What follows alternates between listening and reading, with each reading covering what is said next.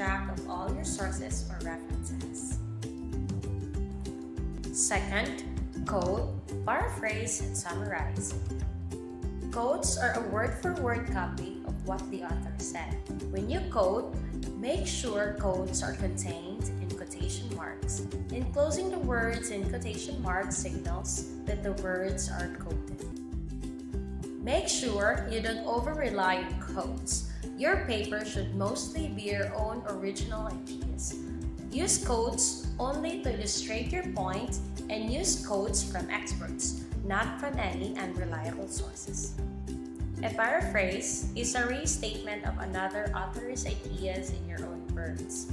Your paraphrase should be similar in meaning to the original passage. When you paraphrase, first, read the original passage a few times to make sure you understand what the author is saying. Change both the sentence structure and the words used. Avoid switching out words with synonyms as this can create unnatural sounding sentences. Make sure the paraphrase sentence reads smoothly and makes sense. A summary is a condensed version of information from another source. Summaries usually highlights the main points discussed in source. When you summarize, keep your summary brief. Make sure your summary is in your own words. Stick to just the main points. Summaries should be much shorter than the original source. Third, cite your sources. Every time you quote paraphrase, you need to give credit to the original author by adding an in-text citations. An in-text citation is a citation found within your writing as it locates where you found your quotes, facts, research. There are different citation styles such as APA, MLA, and Chicago style. Each of these citations has a different ruling. You have to apply one style consistently throughout the text of your paper. Remember, for every in-text citation in your paper, there must be a corresponding entry in your reference list or bibliography. All APA in-text citations require the same basic information. Author's last name, no first names or initials, year of publication, or ND if there is no date, page number, paragraph number, chapter, section, or timestamp where the information can be located within the source, only required for direct quotes. Lastly, check your paper with a free Plagiarism Checker online for free, just to give you some sort of a reminder that our university has subscribed a Turnitin software, a plagiarism detector checker. We also hope that our parents will give moral support to our dear students to keep them motivated and inspired in doing their research with academic integrity. So that's it. I hope you enjoyed and learned something new today. Please don't hesitate to ask for any reference assistance from us. We will be more than willing to serve your information and reference needs. Visit our library website at shs.library.xu.edu.ph to learn more about the available library resources and services. Please like and follow us on Facebook, Twitter, and Instagram for more library updates. This has been your librarian, Ms. Miriam Ava, from Xavier Ateneo Senior High School Library.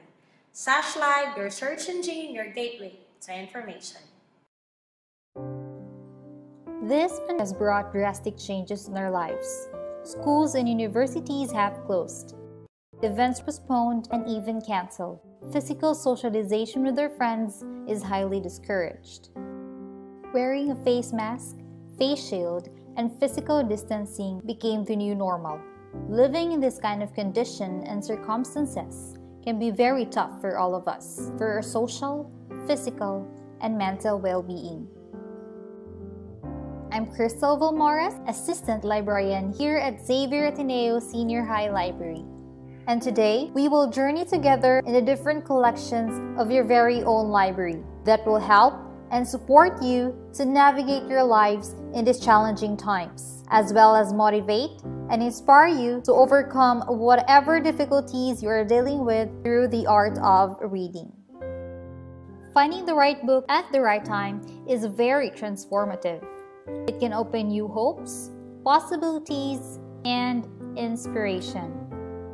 Reading a story of another one's life that can be linked with your own life and experience will surely move you, inspire, and help you get through difficult times. If right now you are in the midst of difficulties and sufferings or extreme situations, the book of Viktor E. Frankl, Man's Search for Meaning, is the right book for you. You will be profoundly moved and inspired by Frankl's own experience and lessons of his spiritual survival. The book tells the story of immeasurable terrors and sufferings he endured as a prisoner in Nazi death camps and how he survived the painful experience without thinking vengeance, yet remained true to his character and found a deeper meaning in his life. For all the women out there who are struggling or suffering, whether physically, emotionally, or psychologically, the Book of Hope When It Hurts by Kristen Wetherell and Sarah Walton could be the best book for you. You will truly see God's comfort, grace, and hope with this book. To add with that, Happiness in This Life by Pope Francis, which talks about finding love and happiness in a chaotic world. Have you failed? Have you fallen in hard times? Are you going through your toughest struggles? Breaker Bounce How to Get Out of Your Rock Bottom by Bo Sanchez is an amazing book that has a powerful words of encouragement. In every chapter, he gives you a massive dose of inspiration so you can keep moving forward until your storm ends and a new morning rises in your life. Here's how to guide knowing and living what matters most from the book On the Bright Side by Melanie Shankle. Another compelling story from the book The Alchemist, Paulo Coelho. It is a very inspirational story of a shepherd young man, Santiago, who leaves his land and flock to chase and pursue his dream. He journeyed to discover his destiny and realize his dream. His story tells you to strive hard for you to manifest your dreams into reality. This book will inspire you to overcome hardships, push yourself beyond the limits of your comfort zone, to believe in yourself, and have faith that you have the potential to attain great things. For teenagers, The Secret to Teen Power by Paul Harrington that explains how teens can transform their own lives and live their dreams by understanding and using the power they have in their hands. Another interesting book for millennial moms out there. You might want to read Mommy Republic by Eddie Asidera and Kate Yu.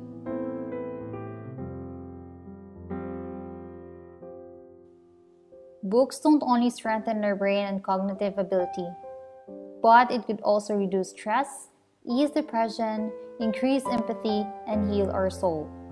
It can give comfort and grace of hope. To our Xavier Ateneo community, please check our website shs.library.xu.edu.ph to check available books for you. This has been your librarian, Chris K. Now signing off. Sash Library, your search engine, your gateway to information.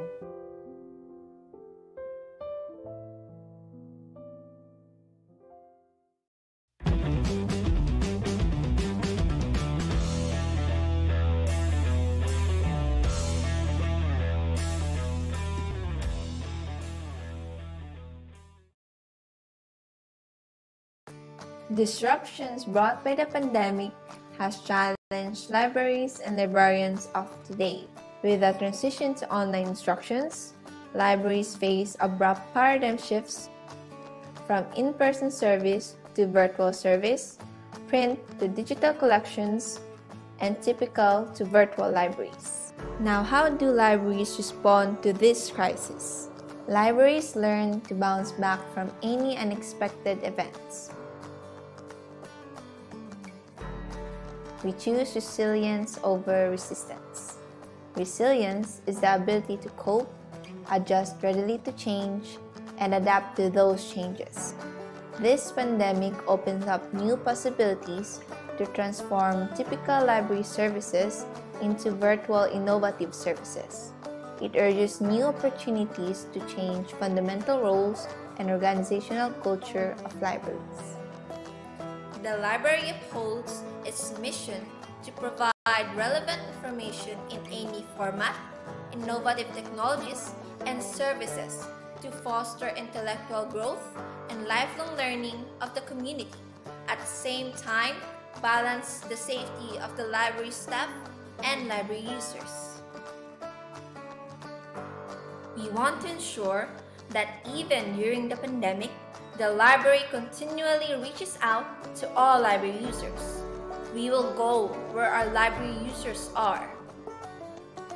The library heightens online services intended for the online learning, teaching, and research needs of the community.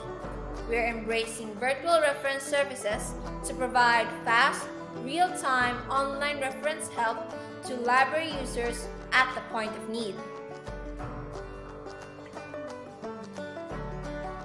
Because the library users cannot physically visit the library to check out books, the library offered book pickup service and book drop box. All borrowed materials are quarantined for 72 hours. Document delivery service and interlibrary loan for those library users who want us to scan limited pages of the book or journal. We're taking on more responsibility for online library instructions on scholarly publishing, plagiarism, and research guides. Some library services were revamped to fit the new normal, such as transforming collaborative space into an online teaching space for the teachers, a lot more budget on electronic collections, library website, and create open access resources. Thus, the pandemic compels us to acknowledge that we are now living in a new normal and we have to find ways to adapt to these changes and expect more change is on the horizon. We really have to thrive in a constantly shifting world. This has been your librarian, Eloisa Pitagarda, now signing off.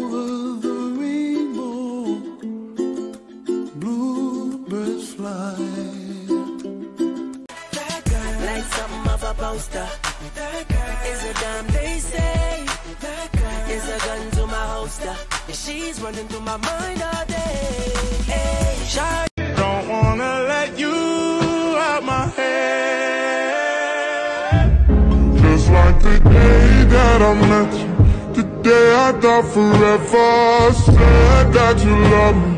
But that'll last forever. It's cold outside. Like when you walked out my life. Why you walk out my life?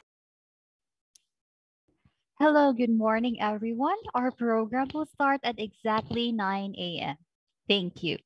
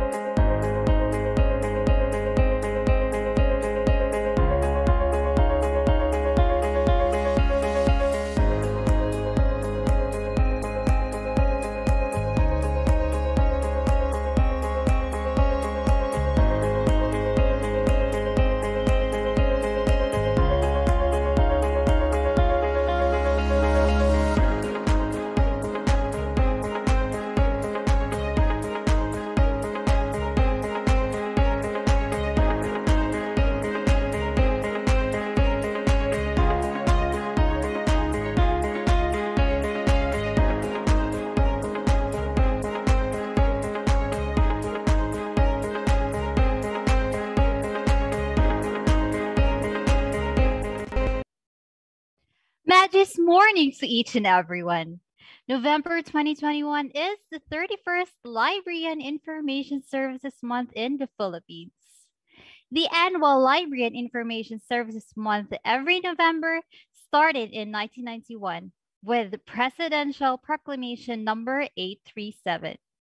The theme for the 2021 LIS month is Libraries Building Roads, Readers, Opportunities, Advocacies, Development, Sustainability.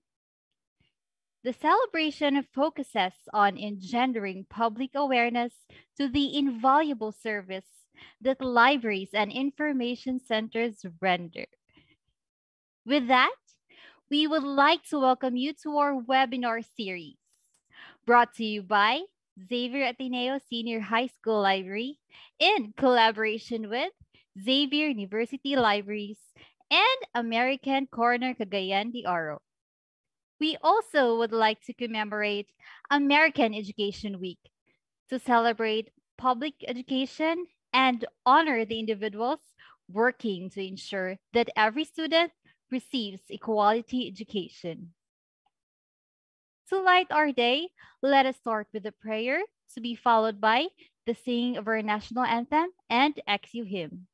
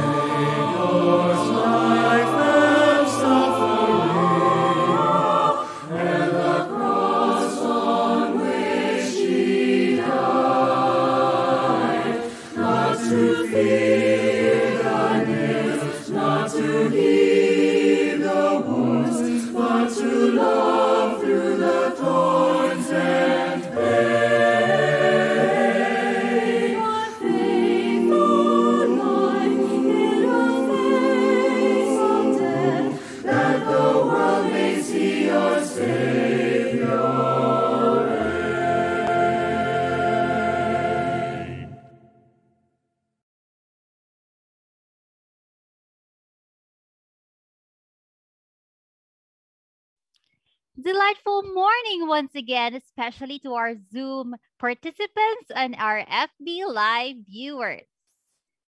In behalf of Xavier University Senior High School Library, Xavier University Libraries, and American Corner Cagayan de Oro, I would like to thank you all for your presence, most especially to our resource speakers who took time and effort to be with us today to share their knowledge and expertise. It is indeed a pleasure to have you all today. I am Crystal Cable Morris, honored to be your host for today's event. Now, to formally welcome us to this program, may I call in our ever dynamic and ever supportive Xavier Ateneo Senior High School Head Librarian, Miss Athena Haka. A virtual applause, please. To our dear speakers, Ms. Donaline Labangan from De La Salle University Libraries, Ms. Maria Lorna Iguia from Machas. A. H. Aznar Memorial College of Medicine, Ms. Joe Deacon from Bloomsbury Publishing, Megatex, Xavier Academy of Initaw, LAS students from Lourdes College, Xavier Ateneo Community, librarians and colleagues, a magis morning to you all.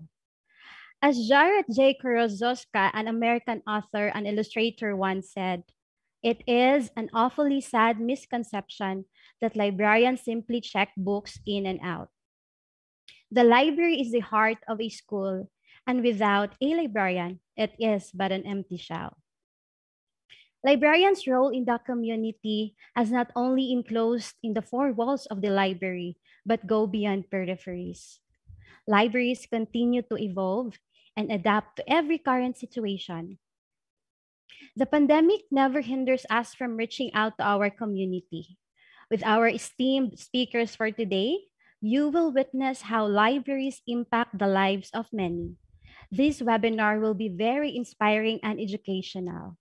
I am grateful beyond words to Dr. Dulce Ardawang, our Vice President for Basic Education, Dr. Rogelio Gawahan, our dear Principal, Ms. Sofia Tagod, our AP for Academics, Dr. Charlotte Cabana, our AP for Administration, Ms. Emily Aaron, our AP for Formation, our senior high school faculty and staff, Xavier University Libraries, to my senior high school library family, and most especially to our Heavenly Father, the source of all strength and knowledge. With that, a very warm welcome to each and everyone. May, may we all have a productive and meaningful day today. Thank you so much for joining.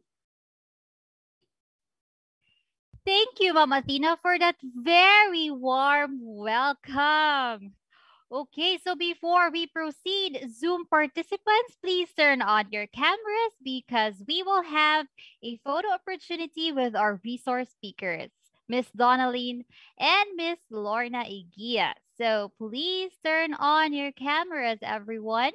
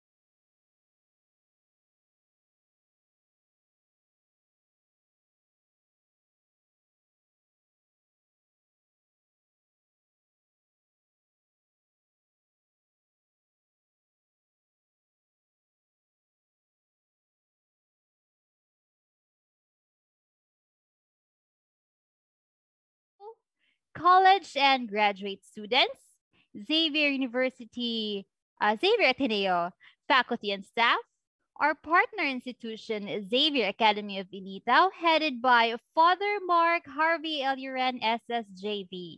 Our library and information science students of Lourdes College, Megatex Philippines, and to all librarians who are present here today. I know you are excited just like I am. So it's very exciting. But before that, before introducing our first speakers, allow me to highlight the webinar series for today. There will be three topics. First is full steam ahead, empowering and catalyzing creative thinking and social entrepreneurial skills of the community through Library Makerspace by Ms. Donalyn Labangon from De La Salle University Libraries to be followed by The Art of Bibliotherapy by Miss Maria Lorna Igia from Matias H. Aznar Memorial College of Medicine Incorporated. And last but not the least, is the Skills for Learning e-module and Cite Them Right referencing guide by Miss Jo Deacon from Bloomsbury Publishing. Okay, before I call Miss Athena to introduce to us our first speakers, I would like to give you some short reminders. First is questions will be entertained after every presentation of the speaker. Second, this is a recorded live. If you happen to miss our session, it will be available on our FB page. To all our Zoom participants, please always stay muted and turn off your cameras to avoid distraction during the lecture. And lastly, if in case during the presentation there will be a power interruption, please stand by for a few minutes and if we cannot make it, we will post an advisory at our FB page.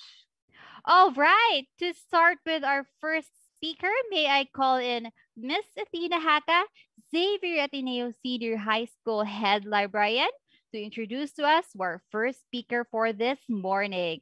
Ma'am Athena? Okay, um, good morning once again. It is my pleasure to introduce to you our first speaker. Our first speaker has over a decade of experience and training as a practicing academic librarian with her work primarily focused on program development planning, innovation projects, and managing key areas and initiatives within the university. Her research interests highlight the project initiatives of the libraries, the human library, maker spaces, and community engagement as well as topics that emphasize library management and media and information literacy. She actively serves the LIS community through her involvement in professional library organizations in the Philippines. She is also a great friend of mine. Ladies and gentlemen, help me welcome Ms. Donaline G. Labangon.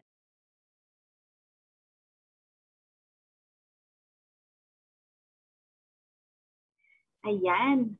So magandang umaga po sa inyong lahat. Again, thank you for uh, joining us today. And of course, I'd like to take this opportunity to thank the organizers for thinking of inviting me over for this uh, virtual uh, webinar.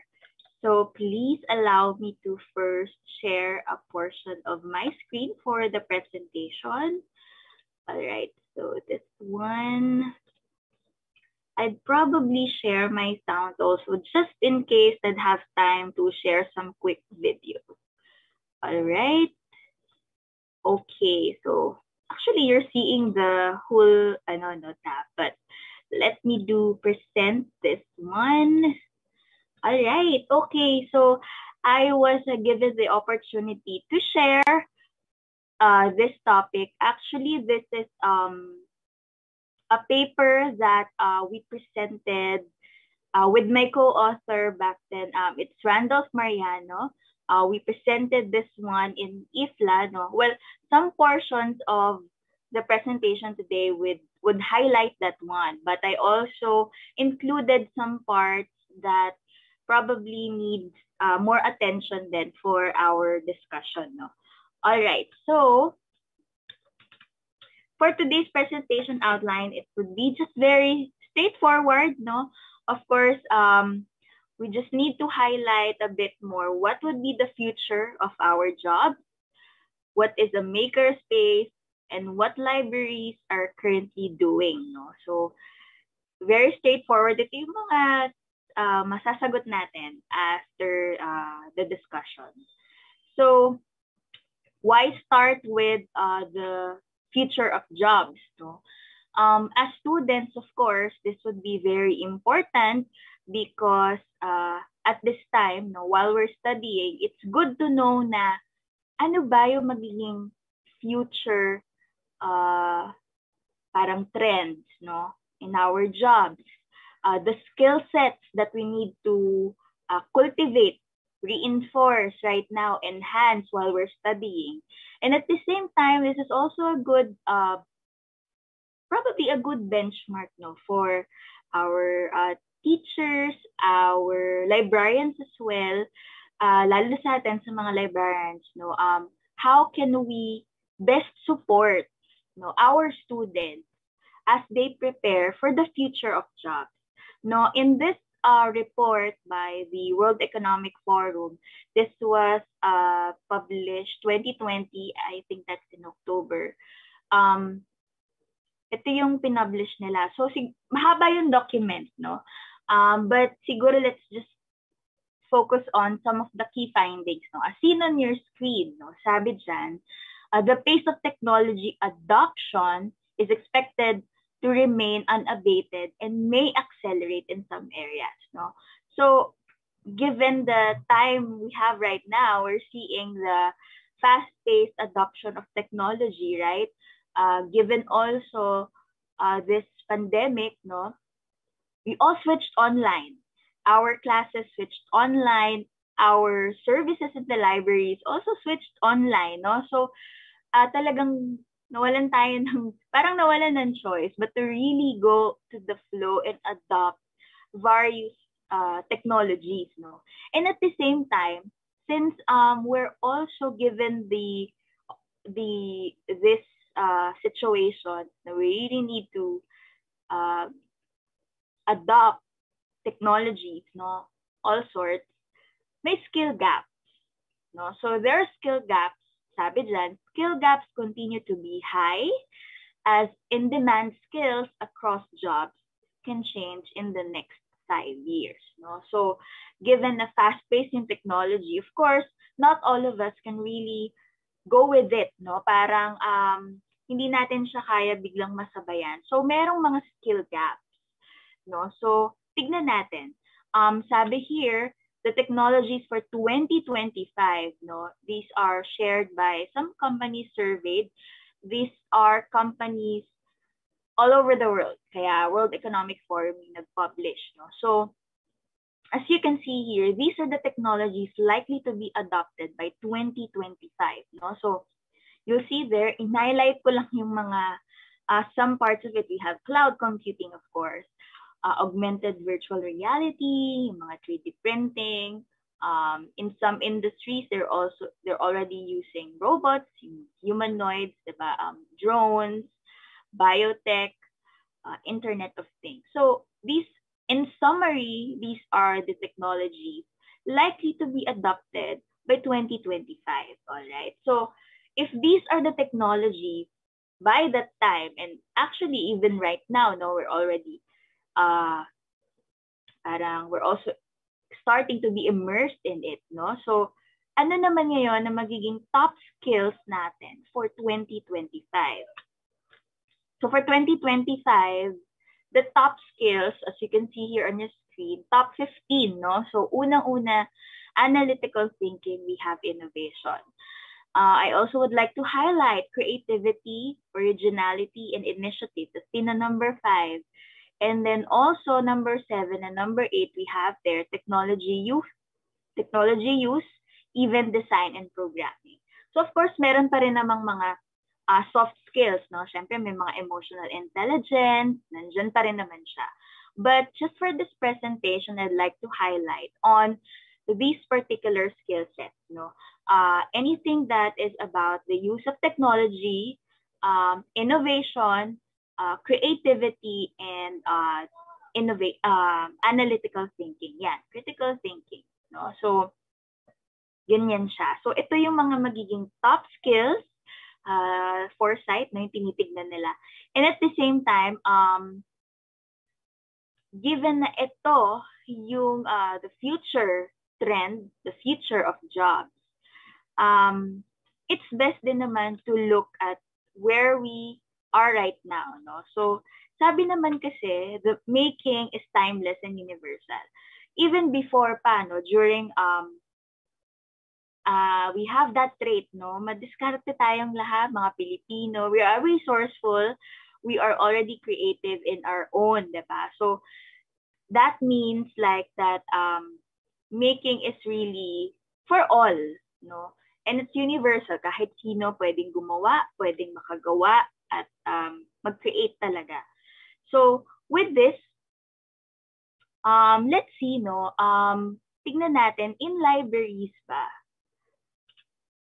ano yung naging development ng creativity in libraries naman. So of course, sa libraries, maraming mga literacy or skill sets that um, we help our students develop. No? So we have their um, digital literacy. No, this is based from web um, KP. No, so digital literacy. No, so ayan, we are helping them to find evaluate, create, even create, no? Kasi once they able to find and um, evaluate these types of communication technologies, syempre they now have that ability to create as well, no? Media literacy, no? Um, they can now access, analyze forms of communication, no? So maraming media channels, uh, all types and formats are all available to them.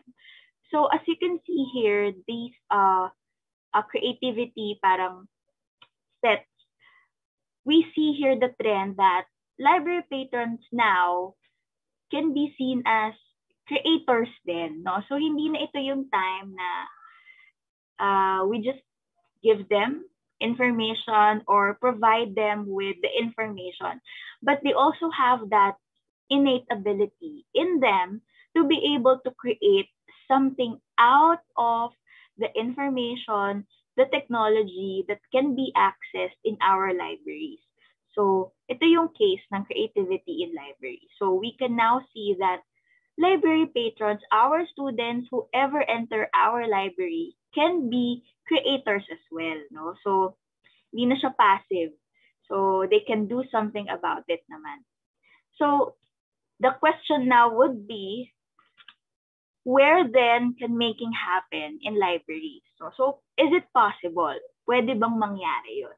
So dito papasok, um, if you have these ones in your libraries or you have spaces, collaborative spaces, no? Doesn't have to be really tagged as a makerspace. But if you have collaborative spaces to build on yung mga creative juices ng ating mga students and our patrons, making can happen in libraries. No? So, but for this time, let's zero in in one space that they can do that. They can freely do that.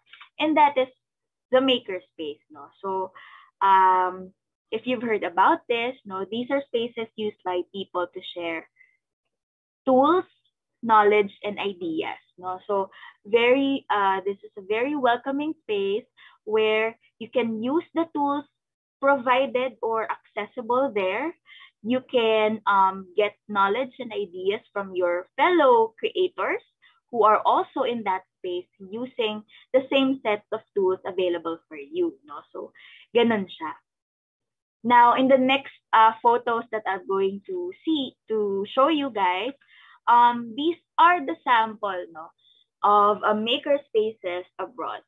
No? So, they have maker spaces in their libraries. As you can see here on your screen, no, from on the on the left hand side, no, from a high cost, high tech side, then from the low tech side, no. So meaning a makerspace can be either things, no? Pwedeng you have there yung mga uh, technologies like 3D printing, uh, laser cutting, uh, things like that. Yung mga talagang equipment. Or you can also have there a low-tech uh, set of equipment like this one. No? So pwedeng um, from cardboard, uh, yung mga sets of papers, yan. So they can already build something with that. Okay? And also, another example here, also as you can see here on your screen. So talagang maraming, um, maraming chance or opportunity for you to build something in a makerspace. So just like here, these are creative, do-it-yourself spaces where people, anyone can gather to create, invent, and learn. So in libraries, as mentioned, no, so they often have may mga 3D printers, yung iba, may mga software uh, for media production uh, that the students can use. They also have their um, some electronics, no, uh, craft and hardware supplies, tools, and more. No, so ganyan siya um, nangyayari. No, so what can we do in a makerspace? So actually, napakarami. Um, you can consult with your fellow makers. Uh, you can go there to do something. Probably you have a project in your class and you know that there are materials and equipment that you can use. So pwede kang pumunta sa makerspace to do that as well. Now, I think it, uh, it's good to show you just a quick video of how it works in other areas, no, para lang ma ma ano tayo, uh, magkaroon pa tayo ng mas malawak na uh, understanding about it. All right. So for this one, this is just a sample also, no? Uh, kinlik ko na pala siya. So as you can see there, they're already, they're just using Legos. Um, yung isang sa kabilang side, sewing machines, kasi nga there's also an art side about it, no? When you're building.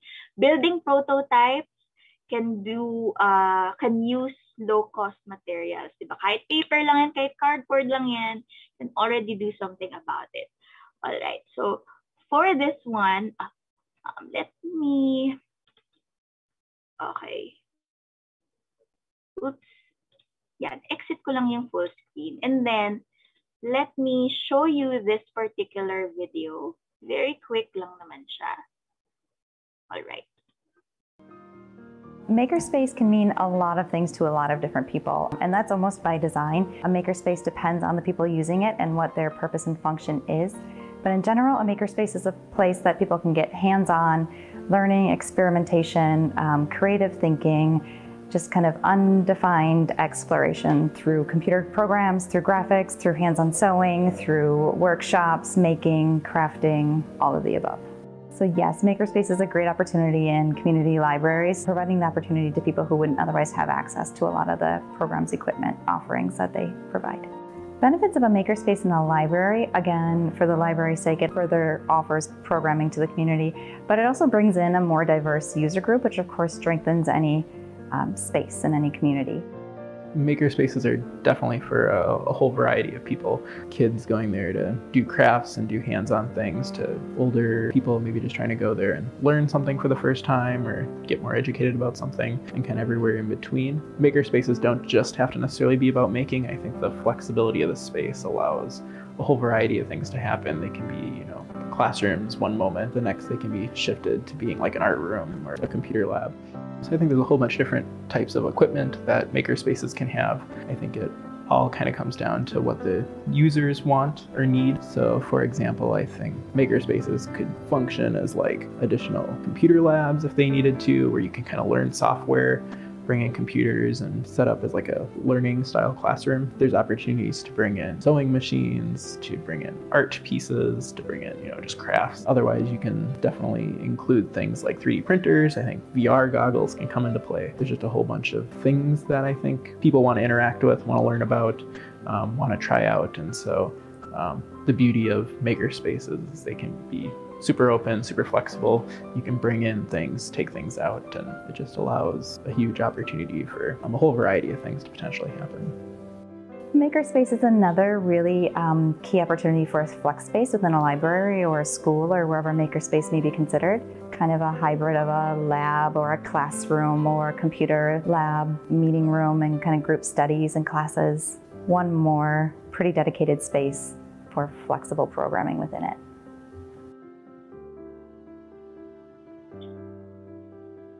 Ayun, no? So, basically, that's how it is, no? When we say it's a makerspace.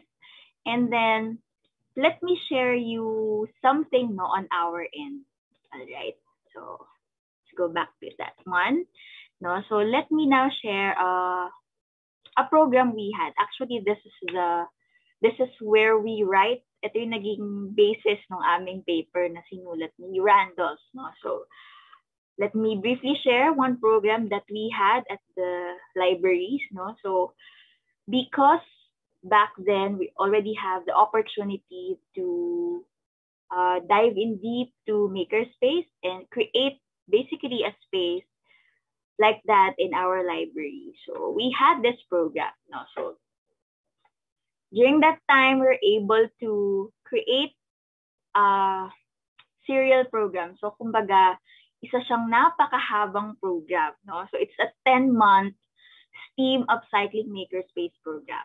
But don't be confused. It doesn't mean that when you join a makerspace program or you visit the space, eh, kailangan mahabang activity, no? Or mahabang activity ang join mo or for librarians, mahabang activity yung gagawin mo. No, it doesn't work like that. No? So, of course, it depends on what you have, the, equip the equipment, materials that you have. Pwede pa rin naman yung pop-up maker space. No? So, once you have an activity, so dun lang lalabas yung mga materials. No? So, it can be like that.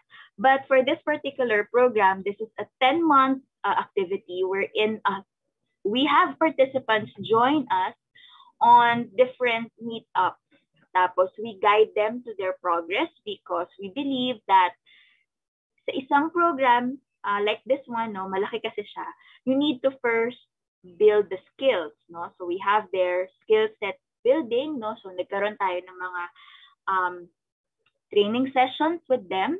But basically, the objective of this whole program is that they'd be having that opportunity to engage with diverse people and utilize whatever technology that we have at the makerspace at the moment.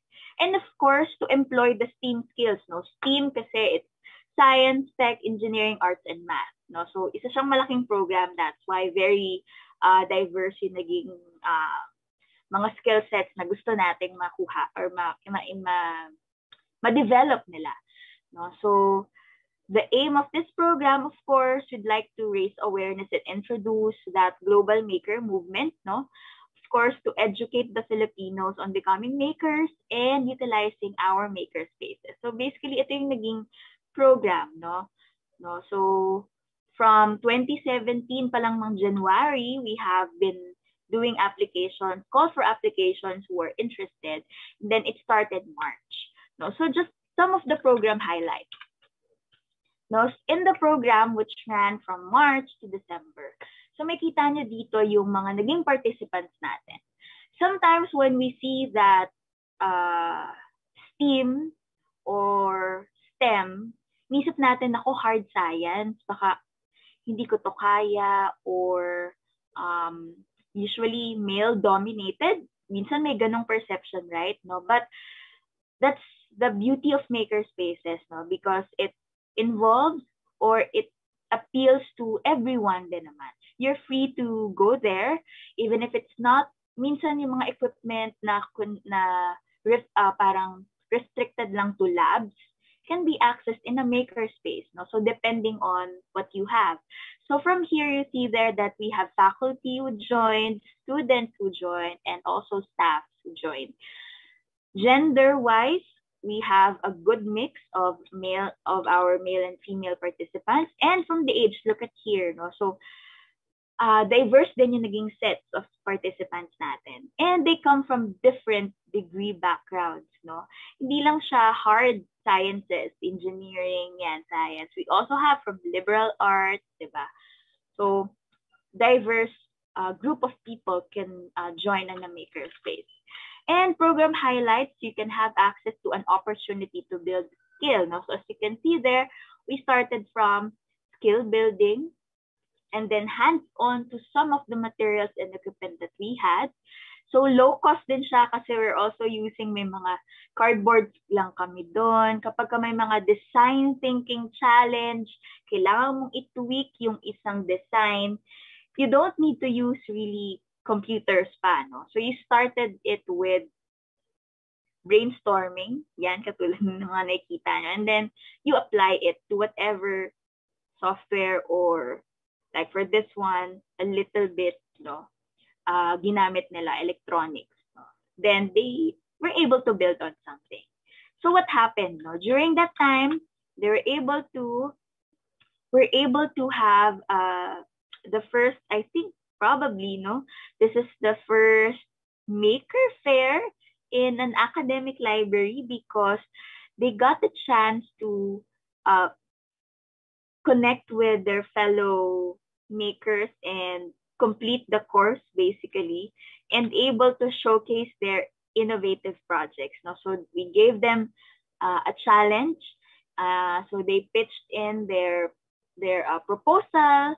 Then the mentors kind of uh, parang they help them tweak it. No? So ayan yung mga sample projects. So kinetic na uh, yung charging na bike.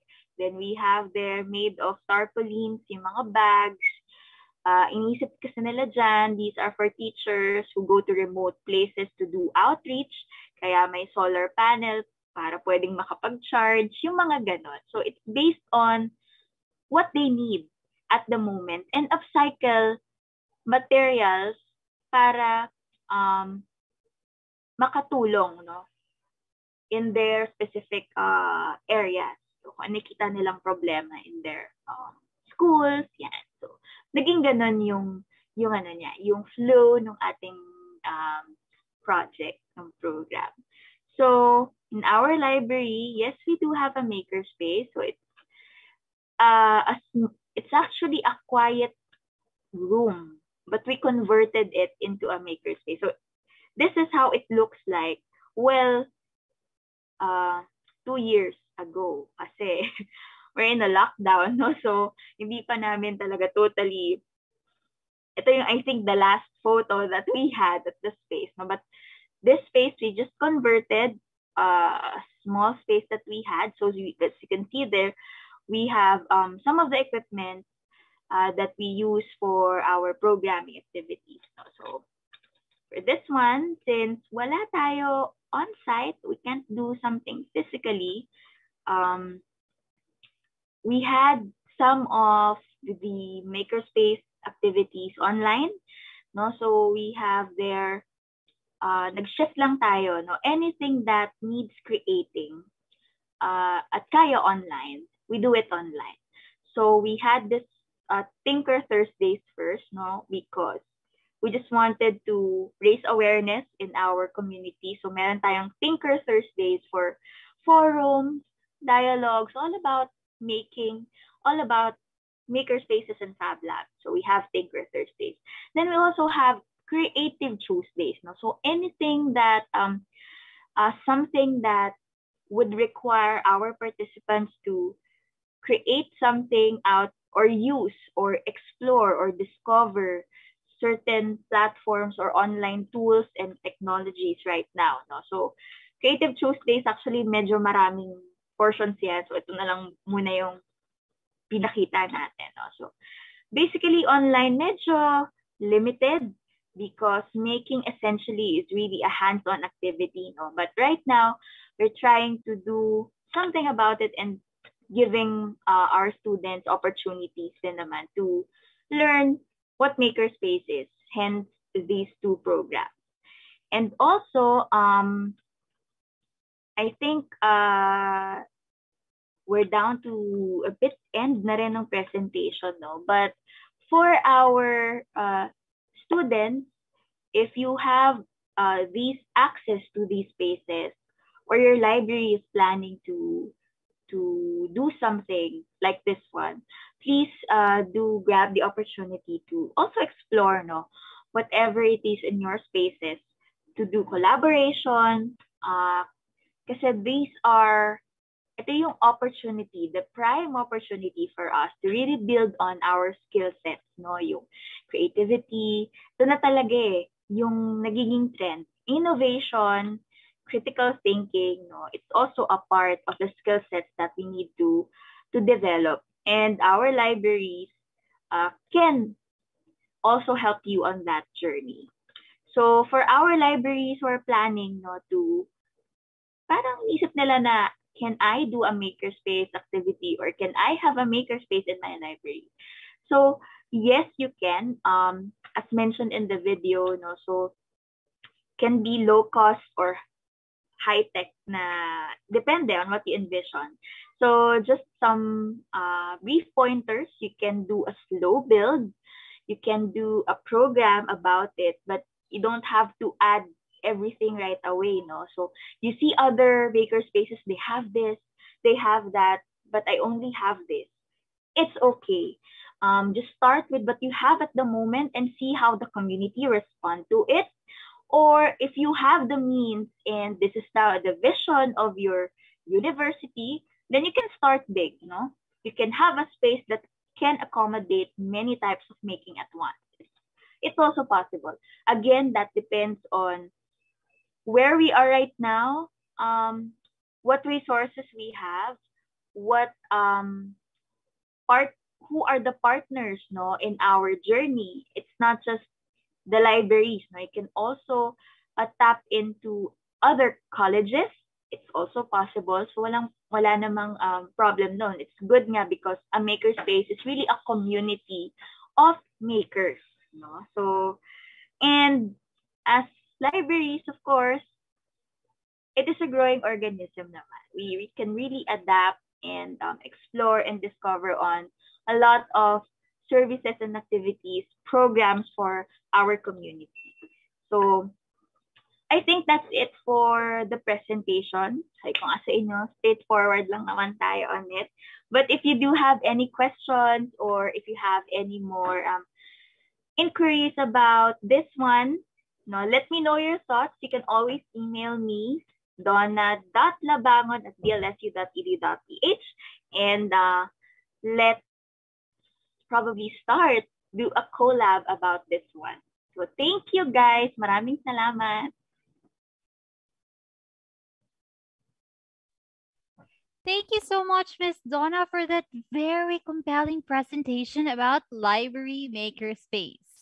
It is indeed, uh, Library Makerspace is indeed a great venue for the students to learn specific types of skills relevant to their fields of study. Also, we librarians believe that through opening a makerspace or conducting makerspace activities in our universities or school, students' knowledge acquired in the classroom can be heightened through application in the makerspace because it stimulates innovation and develops student skills. I hope Ms. Donna inspires other libraries to do the same. Okay, at this point, we will entertain questions related to the topic presented. May I call in Miss Miriam and Miss Athena to facilitate the question and answer session. Please feel free to type in your questions in the Zoom chat box. And also for our FB Live viewers, you can type in your questions in the comment section below. Okay, Miss Miriam. Good morning, Miss Donna. I have here one question from our participants. I will read it for you. Can you share some advice for those libraries who are planning to have a makerspace considering the new normal situation we are in right now? I again, can you share some advice to those libraries who are planning to have a makerspace considering the new normal situation we are in right now? Yes, hello, good morning. Ayan, actually, maganda yung question, no? Because it is really a challenge to do a maker space or a maker activity rather, no? during this time, no? So right now, um, in our case, no, we still cannot um, uh, enter, parang entertain students in our university, no? So that's why we opt to switch some online, no? But if in case we started to, you know, um, gradually uh, accept in our students in our campus, of course, talagang meron na mga certain changes, no? As long as the pandemic is still here and hindi pa talaga okay ang lahat, no? So, what uh what I could probably give and recommend is that you uh, schedule kasi sa amin um actually iniisip na rin namin siya no pwedeng may mga meron na kaming as you can see on your screen earlier no we have creative Tuesdays we have Tinker Thursdays, nalito na rin, no? so, what we're planning is that we will have uh, parang um, a Maker Wednesday wherein everyone basically is dapat free to come to the space. However, given the situation, uh, we're planning to have it na, of course, by appointment. And depende kung sino yung, di ba, kung sino yung um, uh, kaya lang i-accommodate ng space at the moment, no? So, dapat kasi everyone can come in and join, no? So, limited, magiging limited siya as long as uh, hindi pa rin okay yung situation natin, no? But eventually, of course, uh, hopefully, no, we get to have all of our students in our spaces and come in, no? But right now, online, some programs can be done online. Um, some can be done on-site, but on a very limited scale pa lang. No? So, limited pa rin yung scale talaga. And of course, we follow the health protocols pa rin naman. If it's ngayon, ah, kung ngayon siya mangyayari.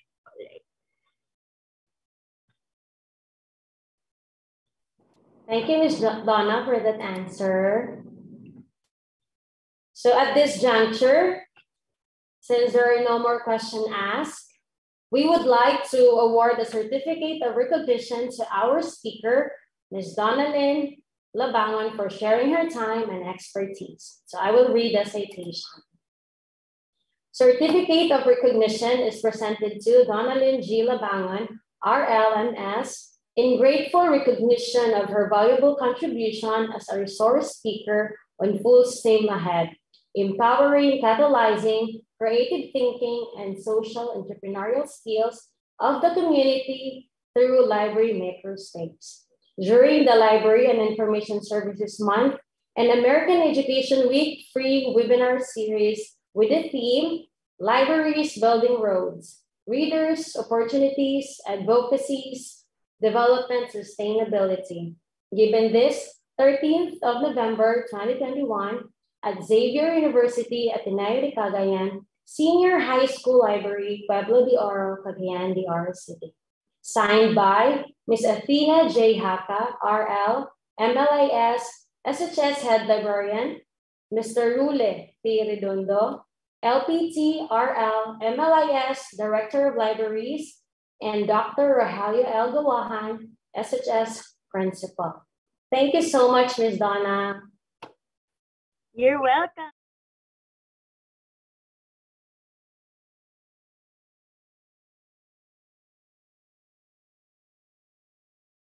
Being with us today for sharing your knowledge and expertise about Library Makerspace. All right, to introduce us to our next speaker, our second speaker, may I call in once again Miss Athena Haka. Mama Athena? Okay. Thank you so much, Miss Donna, for that very um, informative no? and inspiring uh, presentation, by the way. I hope li other libraries would do the same. Okay, so for our second speaker, um, she is a librarian from the University of San Carlos, Cebu City, Philippines for 21 years. She earned her Master of Science in Library Science, MSLS degree from the University of San Carlos, part-time professor and serve as a vice chair for Philippine Librarians Association, Central Visayas Region Librarians Council, a member of different organizations, and accreditor in the library area for PAASCU.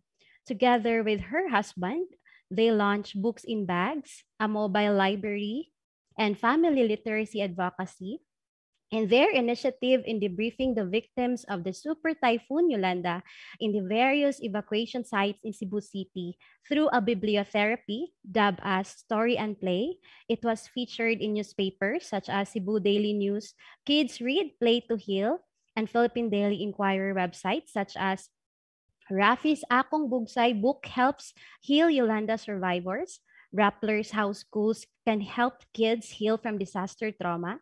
DSWD's Couple Conducts Storytelling to Kids in Evacuation Centers. That same article was reposted at CNN Report and other social media. Interviews from the ABCBN's Mga Kwento ng Pagbangon and from a health and wellness magazine, Healthy Skin on Bibliotherapy, prove the public's interest and curiosity on the advocacy. In 2015, she was named Movers and Shakers in the library industry by the international publication Library Journal and traveled to the US to receive her award and recognition as a community builder in San Francisco.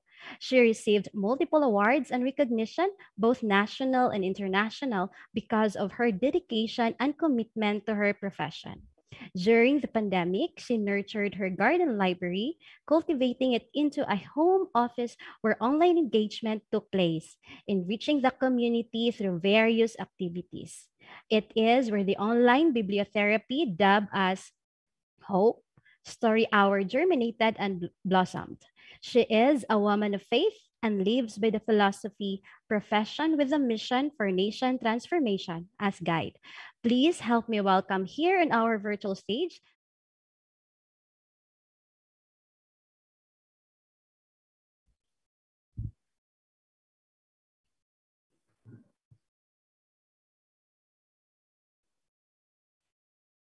Okay. Thank you. Thank you, Ms. Atene, for that very, very heartwarming introduction. Thank you so much. Hello, everyone. Hello. Hello, ma'am. Good morning. Ma'am, good morning, ma'am. Good morning. All right. So loud and clear. Yes, so I'm here. Loud and clear.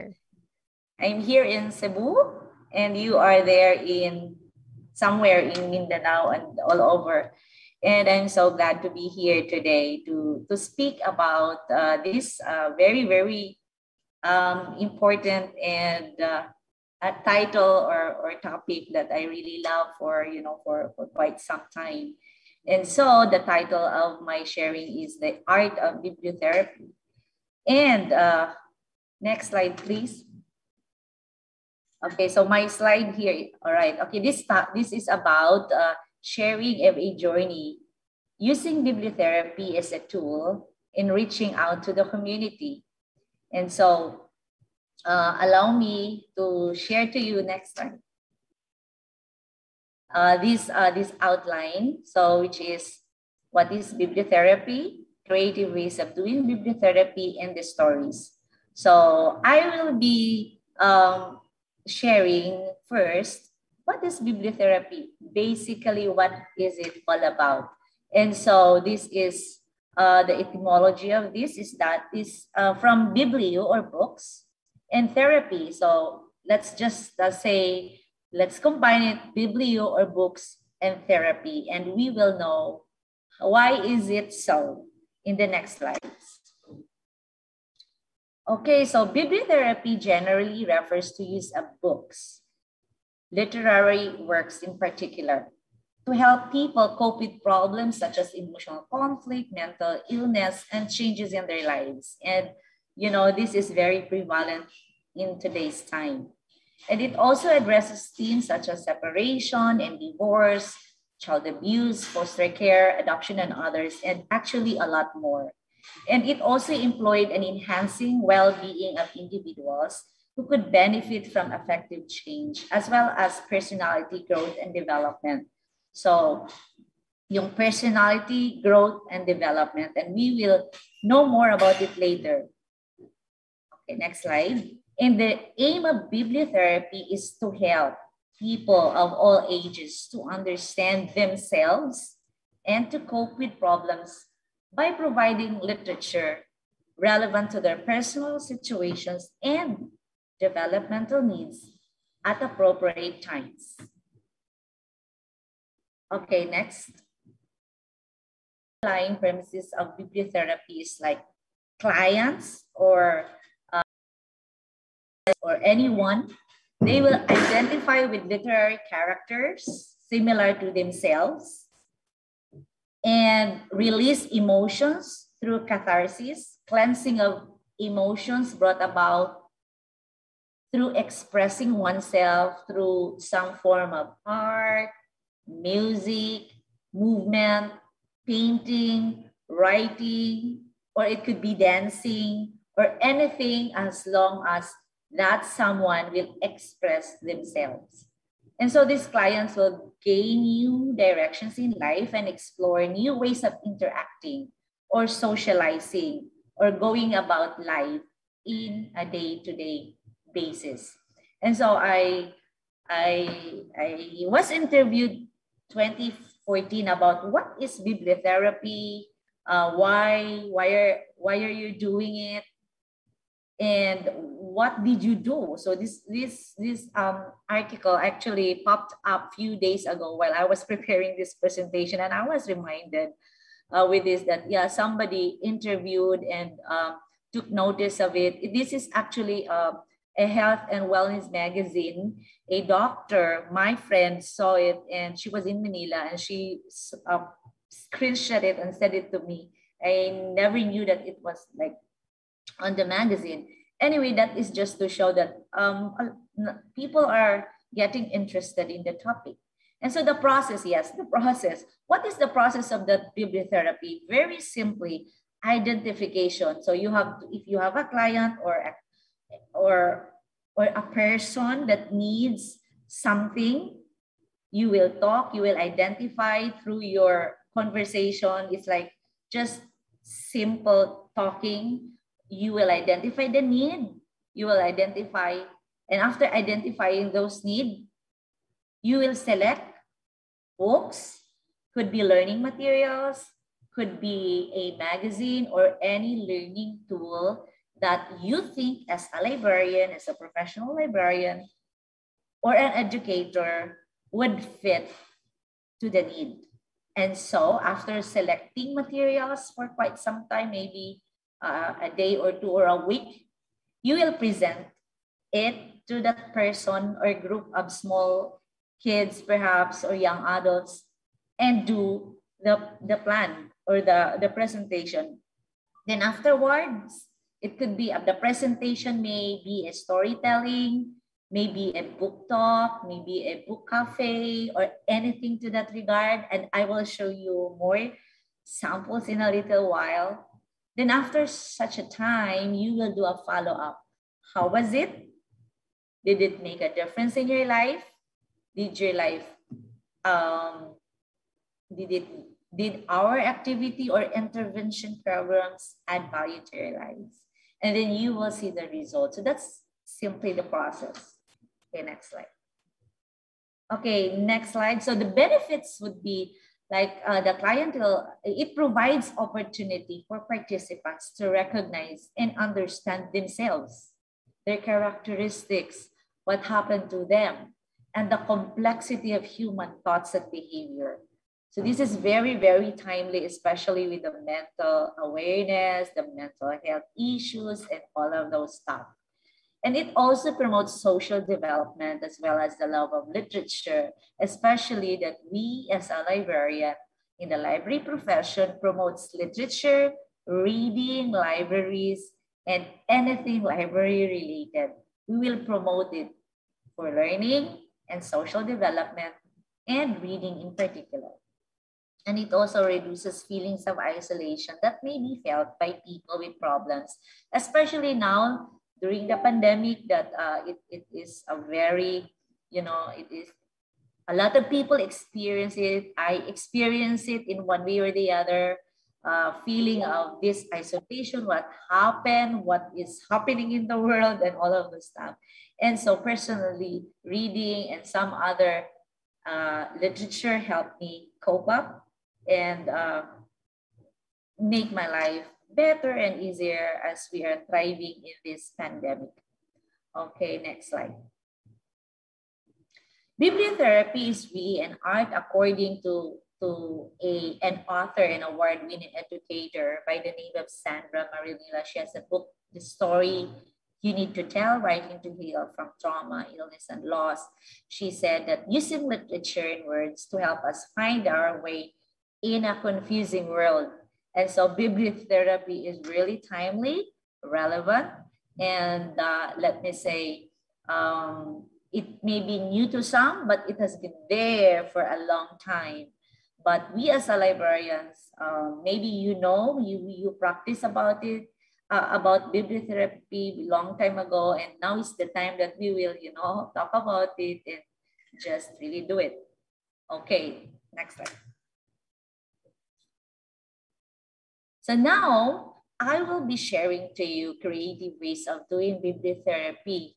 This is the organic way or the way I understand it, the way I did it. And so if I will be sharing to you with your indulgence a photo diary of the bibliotherapy sessions before and during the pandemic. So are you excited? Would you like to know? Yeah, I know. So we started these books in bags as a, has been mentioned when I was introduced. Simply, uh, we started it with the family. And, and actually, this started when my first international conference in IFLA, Singapore, I attended there. You know, when you go out to our back from our box and see the world and say, hey, they're doing this, we are also doing this, and they were they were published or some of them are on research or whatever but you are doing it. I know you have a lot of things you do at home or in your library and you would like to do something. And that what that is what happened to me when i attended one ifla seminar in singapore 2013 a few days later with my husband we put our hearts and head together and launched this books in bags. It's a mobile library with a simple of you know, letting, letting kids uh, read, simple reading advocacy. And so next slide.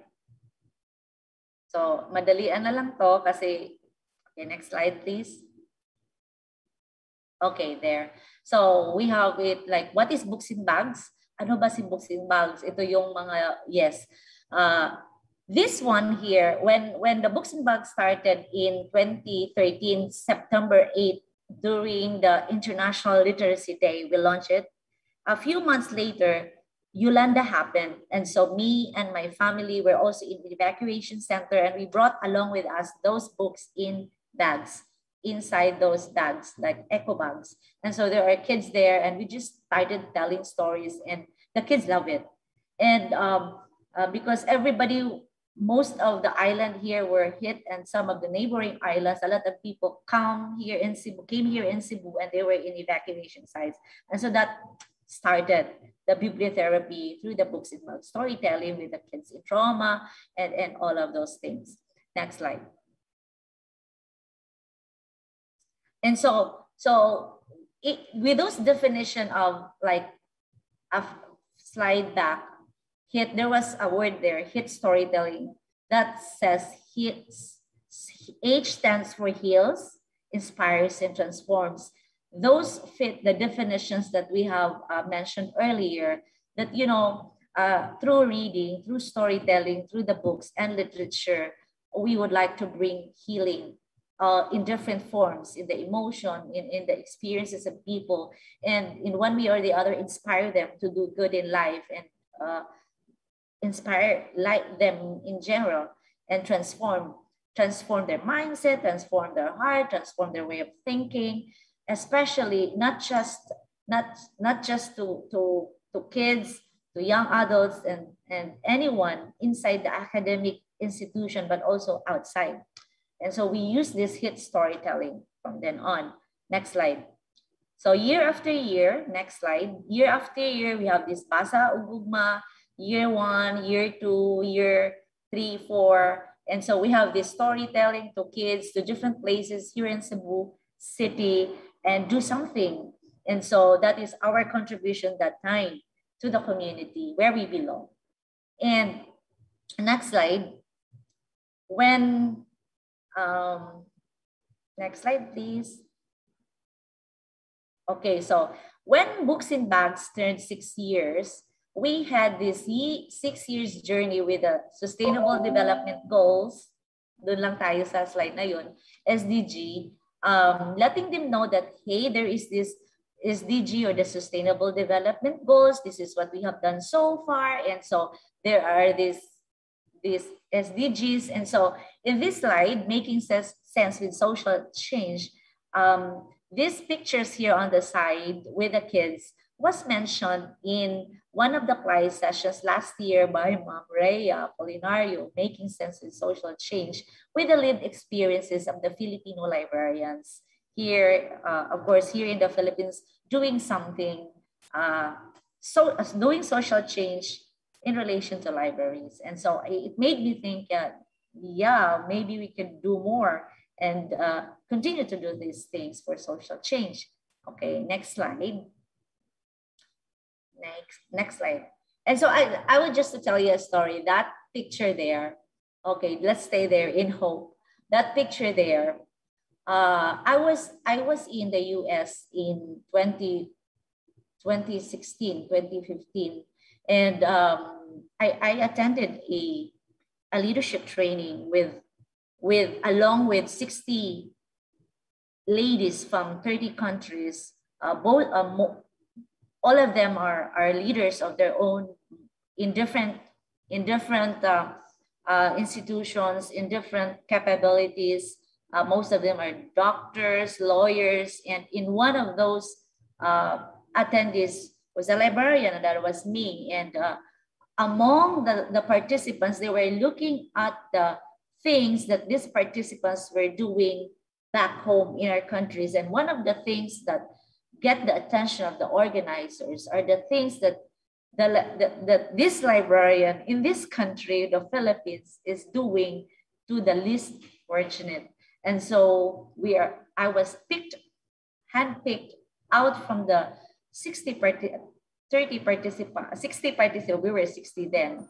And they were, they asked me, how did I do it? And that lead me, uh, because that time it was at the cross point of my personal life what to do next because you know doing those things those are things that i do outside of work because i'm a full-time librarian doing a lot of things i was still actively involved in in the four walls of the library where i belong and at the same time during office hours or weekdays doing those things and you know I, I said to myself i will stop put a stop on this but during that time there is this hope, there is this group of kids who needs hope.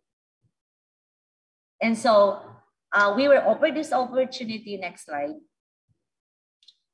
We were offered, uh, next slide, we were offered an opportunity to handle, um, next slide, please, to handle a like an NGO with an international sponsorship program to hold um, they are called One Child. Next slide, please. They are called One Child, an international sponsorship program to help kids and children in hard places. Next slide. And uh, we were given an opportunity to handle this group of children in a mountain barangay in Cebu City. Um, they have no libraries. They have no access to education, to books. Uh, really, when you go there, next slide, when you go there, okay, they're experiencing technical problem, it's okay. Yeah, they it's an urban mountain barangay, no library in the area, and a hundred kids, and they belong to different schools specifically. Okay, that's it. That's the that's the location. And so the first time I was there, I said to myself, I will never come back because it's too hard going there. There is no transportation. You only have to ride motorcycle and by the edge of the valley and you know buhis buhay and so this one child they have this four uh, learning domains like the physical the mental the social and spiritual. This is a picture of a before pandemic uh, scenario. Delivering physical mental social and spiritual activities to kids. Using like uh, earlier we, we were taught about the makerspace and that is very very fantastic but these kids are have no access with those tools at all. And so from nothing to something we have to produce. Okay so next slide. And so we were specifically looking into the next slide please. We were looking into okay so this is our uh this okay so mental. Um in one of the of, of the learning domains we realized that these kids because they have no access to books they are they are schooled in public schools and you know um, they're struggling because they are poor you know their their habits in reading and learning were really affected. And so we have this good job award and a lot of things artworks intervention program that uh, we thought of. Okay next slide. Next slide. Next slide. Okay so there, there is this developmental intervention like storytelling so we, distribute school supplies, okay? Um, okay, next slide. And those are the things, you know, when I was listening to Miss Donna, I really envied, I said to myself, I wish that these kids will have those access of those tools, of those technologies so that they can. But what we did is just really, if there is this high tech, low tech, like no tech, from something into, from nothing into something, just, and this, this, uh, a scenario here is that few weeks before we were in lockdown. So Valentine's and March, we were in lockdown. Every Saturday, we go there to the mountain, to the kids in different areas, like in three big areas. And so lockdown happened. Okay, next slide. Okay, so we also, because they were not able to be in a library, uh, there is this on there is this opportunity for us to be in our public library at the Cebu City Public Library. And uh, next slide, uh, we bring the kids there inside the library and showcase who we are, what we do, and why we are doing what we are doing through uh, exhibit, through DIY tutorials, necklace bracelets making, puso making, photo booth garden, and so. So a lot of stuff that we uh, so, that, so that the public will know who we are, what we do. Okay, next slide. And so, uh, giving them just like a library experience. Next slide.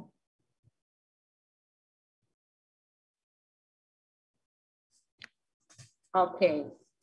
Andun na ba sa next slide? Okay. Ito yung example. So, the puso making, the, anyway. So, because uh, this is now the pandemic, because the books and bags using the bibliotherapy activities cannot go to the mountains anymore because we were in lockdown. We transitioned into a garden library. What is it? Still, the Hills Inspires Transforms concept are there, but we are making, next slide, uh, the garden library as a hub, like we have the physical hub and the online hub to reach out to the community. And at first it was hard because there's no technology. They can, they have no gadget, they have no pangload and all of those stuff. And so we were in our home, at home, putting up a garden library, a hub, and reaching out to them. And so we will show you how we did it in the next slide. Okay, so we have activities. Okay, like there, kids and mothers and fathers don't know what to do and they said they were bored. And i said you could do something like this. You could put on your your mosquitero and do something like this. And so innovative ways of like uh, recreating their their home through examples that i did and showing them that hey you can do something. Next slide. Okay And also I said to them, if you have your mga kumot, if you have your mga cortina there, do a TP, something like this. And so this is our way of, when we reach out to them, we recreate our space and like let them, show them that you could do something. And then they could read and we send them books, we send them an and uh, to fight away the boredom, recreate. So recreating, you know, the creativity, the innovativeness from some from nothing into something. Okay, the TP. Okay, next slide. Next slide, please. Okay, so we have this online bibliotherapy simply by calling first video call and uh, letting them know that we care for them. And so the kids, so one by one, area by area, family by family, we talk to them. We have this historieta, online bibliotherapy, just, just to, you know, help them during the times of pandemic because, uh, you know, times are hard. Next slide. So we did it. And, and we also have a mother who passed away during the pandemic and we have the the youngest daughter come to us and just uh, just uh, be a help and be be um, yes be a help to them to the family with you calling them and sharing something and sharing to them a, a literature healing after the loss of your mother. Okay next slide. Next slide. Okay so so this is the, the blogs, the online storytelling that we do to reach them out. Okay, next slide. And also, we cannot go there physically.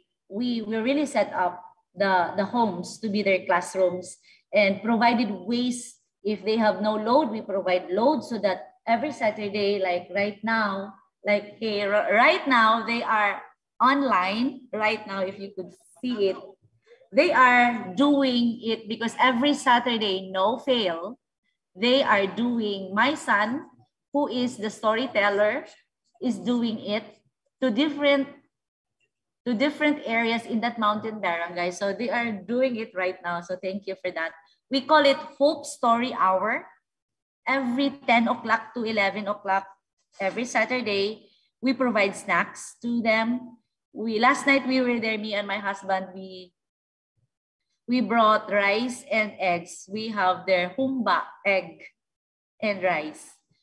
So that once a week they have something, they look forward every Saturday. And then one mother said, um, yung sa module nila, parang ang mga bata nag-struggle talaga sa mga module, but every Saturday, every Saturday morning, they really wake up very early. Maliligo na sila sa ilog sa Sapa, sa river because they are located in Sapa River.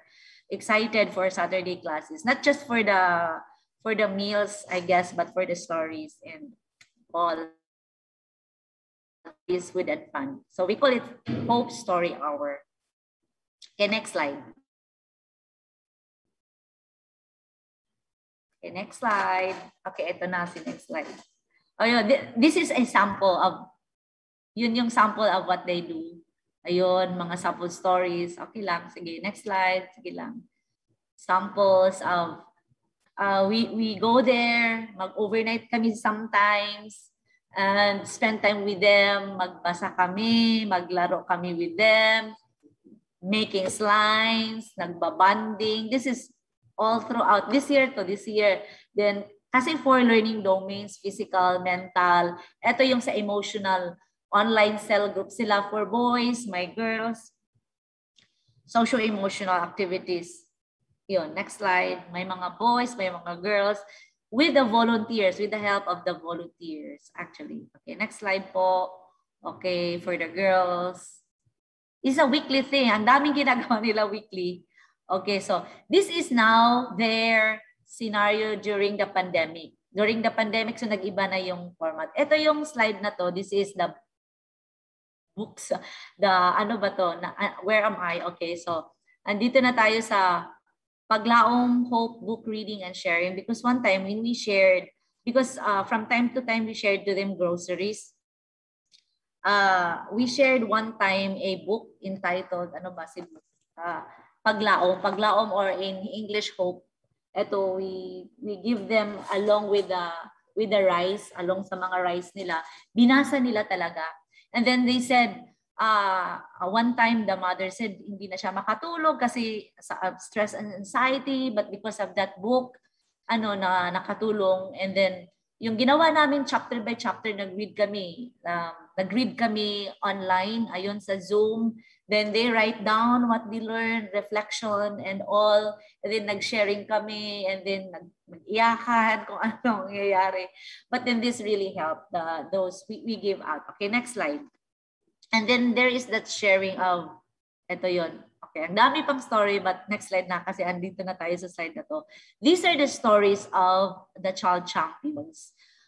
How volunteering makes sense to them, like skills learned through teaching. At first, actually, that's my son. He don't like storytelling at all. He doesn't like children, but now he is learning skills, yung, yung mga values. Okay, next slide.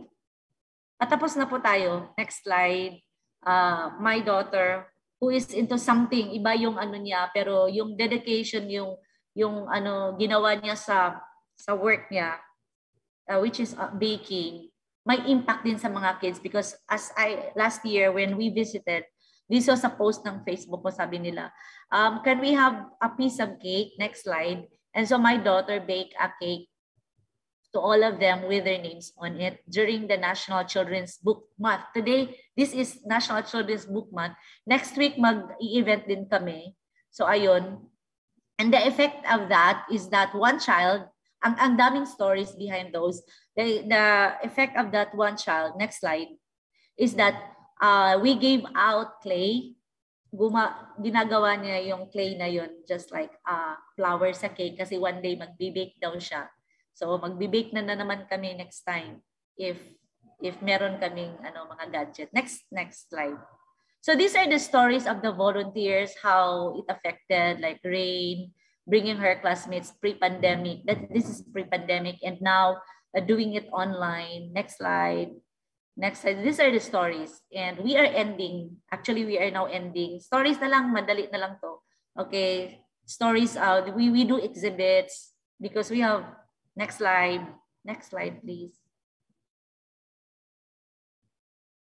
And also we share uh, literacy. We share, we are also part of the environment awareness preservation, preservation, ano. So this is one of our volunteers, Lloyd, and he presented uh, to, to over a thousand students here in Cebu City online how we were able to help in the preservation of our river through bibliotherapy.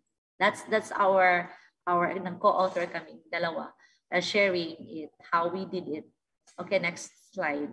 That is also for another volunteer who was coming, okay, we, we do some something in the river, like telling them what to do. This is during pandemic.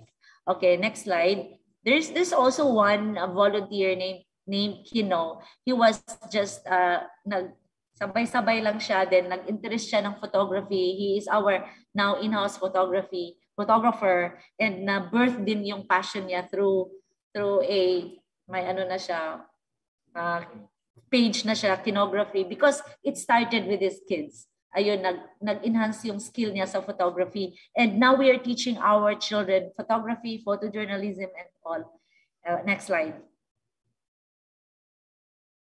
And this is just the stories of how, and not just the kids, but also us as volunteers, uh, mothers, okay, yun yung mga stories ng mga mothers. We give them out good news distribution, uh, the Bible.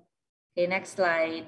And uh, the good thing about uh, volunteering with them, using, uh, we get to talk to them heart to heart. We get to meet the parents. Pinupuntahan talaga namin sila. Okay, next slide. And uh, the good thing about this is that we are not just offering to them, you know, literatures. We're not just offering to them books and, you know, mga stuff, but we are building communities through uh, through the things that we do. Like, ginugroup namin sila, nag-group sila, kasi malawak yung area coverage. Uh, livelihood pala nila is puso making if you are familiar with hanging rice. Even if they are doing their thing, pinapa-attend namin sila ng mga webinars, pinapa-attend namin sila na para mag-improve naman sila. Uh, tinutulungan namin sila how to do emails, how to do kasi 'di ba mag ano, yung mga ICT skills din, yung mga ano paano, mga ganon. Uh, at night, daytime, integrating, you know, ICT them to their lives kasi uh, we are in it na. Building communities and uh, next uh, next slide. you know, when we started in 2013, these are the kids. Yung then. And now they are now the volunteers from that mountain barangay who are doing it. So, yun. Um, I think that's the end of my presentation. So, what we started then, with the kids now, they are able to also be a help to others. Uh, according to IFLA General Secretary, get inspired to engage your communities and help create a strong and united library field, powering literate, informed, and participative societies. And we just need to, patapos na slide, train up a child in the way he should go. And when he is old, he will not depart from it. If we would like to have change in our society, let's start with the young generation. If we we would really claim our change and nation building, let's help our neighbors through our profession with a mission for nation transformation. From our team, we say thank you for listening to us. I hope and we hope that we imparted to you something today. God bless everyone. Thank you. Thank you so much for that very inspiring and encouraging presentation, Ma'am Lorna. We are so honored to have you as one of our speakers for today. I do agree and we believe that book really heals one's soul. As librarians, we have an important role not only supporting the academic needs of our students or our library users, but also to the well-being of our community, especially in this very challenging time. Truly, Ma'am Lorna embodies the true spirit of librarianship that mm-hmm. serves the community. Okay, at this point, we will entertain questions related to the topic from the audience. May I call in once again Miss Miriam and Miss Athena to facilitate the question and answer session. Please feel free to type in your questions in the Zoom chat box or any commendation for our speaker. And for our FB page viewers, you may also type in your questions in the comment section below. Hello, Ma'am Lorna. Good morning. Morning. Good I morning have a-. I have a question here from our audience. Yes. I will please. read it for you, ma'am. Yes. What would you like to advise us librarians, teachers, professionals present here on how can we apply bibliotherapy to our library users, our students, and others in the community, helping them cope up with this pandemic? Okay, um, thank you for that question. Very simply, um, of course, we have to talk to them, uh, just connect to them and know their needs. From their needs, we can already know and determine what activity, what book, what literature, or what we have to give to them. And to me, it is very important that we can connect with them. Students, it could be online, it could be personal, face-to-face. If we are able to connect, what we have, we can give with a heart. Thank you, ma'am, for that answer. Some more questions from our audience, from our Zoom participants and FB Live. Some more questions, please. Ma'am Lorna is here to answer your questions. They're very shy when sila mag-question, ma'am. Um, maybe because they were like overwhelmed. ang dami kasing, ang dami kasing pictures, baka hindi pa nila na ano, na process. Sorry for that. So walang Ayan. nagtatanong. Meron ba? Meron pa bang nagtatanong dyan? Hello Zoom participants, are you there? So mukhang wala na talaga, ma'am. Hello, Um, hi. I think one participant. Ah, okay. It's she, she's asking about the copy of the talk, the talk of Ma'am Lorna, and the PowerPoint slides. Okay. Um. Yes, you can. Is it all right, Uh, it's, ma'am? it's with Athena. Yes. You, yes, you may share it. I would love to share it. Okay. Thank you, Ma'am Lorna. You're welcome. So some more questions, please. Hello, FB viewers, are you there? What about the support? Ah, support. May support now. What about the support, Ma'am Lorna? Support, there's a lot of support, meaning the financial support.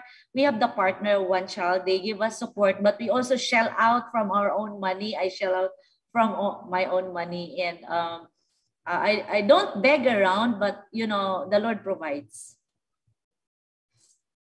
Okay. Some more questions? Please don't be shy. Don't hesitate to ask. Yes, comment your questions on our chat box. None? Yep. Okay, wala na. Wala na talaga. Last chance. Anyway, if they would like to uh, to know more about what I do, because I, I know it's like there's so much in it, uh, you could uh, personally connect to me. I didn't give my my number or like you can search. You could ask Miss Athena how to get in touch with me because I would uh, very well. Uh, I I would like to share what I know and uh, maybe you could help me. Uh, whatever talent you have, you know the time, talent, and treasure that uh, you have, we can uh, maximize it. You know because time is short. We will use our profession really this time. Okay. So, so since there are no more questions asked at this juncture, we would like to award the certificate of recognition to our speaker, Ms. Maria Lorna A. For sharing her valuable time and expertise. I will read the citation. Certificate of recognition is presented to Maria Lorna A. Igia, RLMS, in grateful recognition of her valuable contribution as a resource speaker on the art of bibliotherapy. During the Library and Information Services Month and American Education Week free webinar series with the theme Libraries Building Roads, Readers, Opportunities, Advocacies, Development, Sustainability. Given this 13th of November 2021 at Xavier University Ateneo de Cagayan Senior High School Library, Pueblo de Oro, Cagayan de Oro City. Signed by Athena J. Hapa, RL MLIS, HSS Head Librarian, Mr. Rule P. Redondo, LPT RL MLIS Director of Libraries, and Dr. Rogelio L. Gawahan, SHS Principal. Thank you so much, Ma'am Lorna. Thank you, ma'am. Thank you again, Miss Lorna, for being with us today. All right, down to our last speaker. May I call once again Miss Athena to introduce to us to our third speaker. Ma'am Athena? Okay, so we are down to our last speaker. So she is the head of digital sales in Asia Pacific, Middle East, and Africa at Bloomsbury Publishing. However, she could not be able to attend live with us today because of some urgent matters. So instead, we will play the uh, recorded video of her demonstration of the two web applications, um, Skills for Study and Cite Them Right.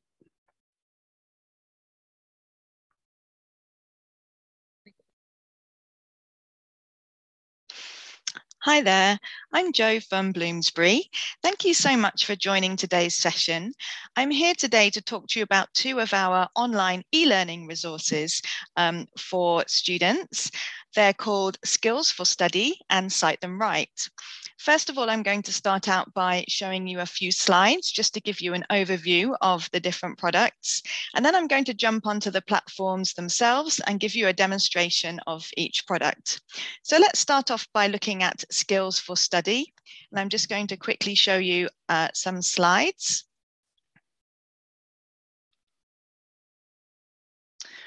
Okay, so what is Skills for Study? Skills for Study is an interactive online study skills resource, which will help students hone their academic skills, employability, and approach to personal development. Skills for Study is based on the work of and developed in collaboration with Stella Cottrell, who's the um, author of the best-selling Study Skills Handbook, which has sold over a million copies worldwide. It's a very popular book and has been developed into a really fantastic um, online resource.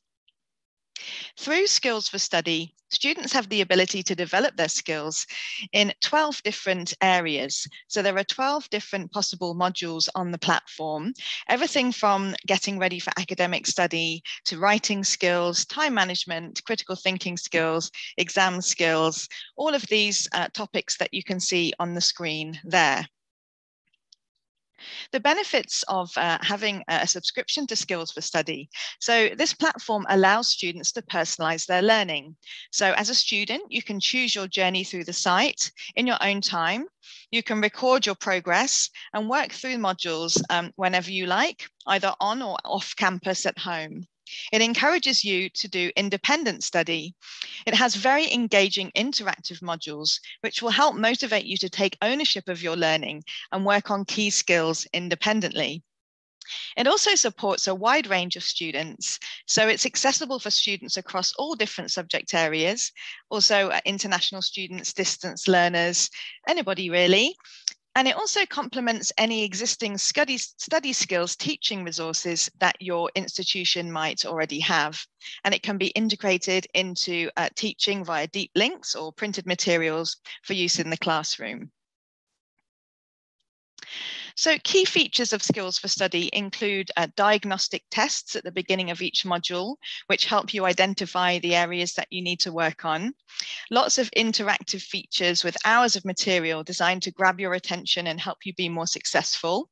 Many practice activities helping to reinforce new skills and downloads, including a wealth of additional checklists, exercises, and advice and um, multimedia aspects as well, with a full range of audio and video to increase accessibility and the appeal.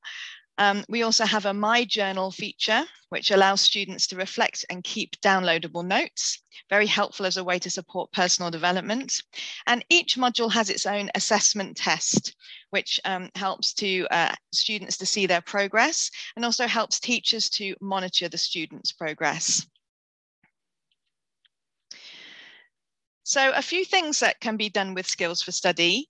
Um, if you've got something like a Moodle or a Blackboard in your institution, you can include deep links to the modules from your own online uh, learning portal. And you can also embed videos directly into your VLE, or you can just link to Skills for, for Study from your library catalogue. Um, also, personal tutors can recommend skills for study to students who need extra support, something very helpful for them to work through at home.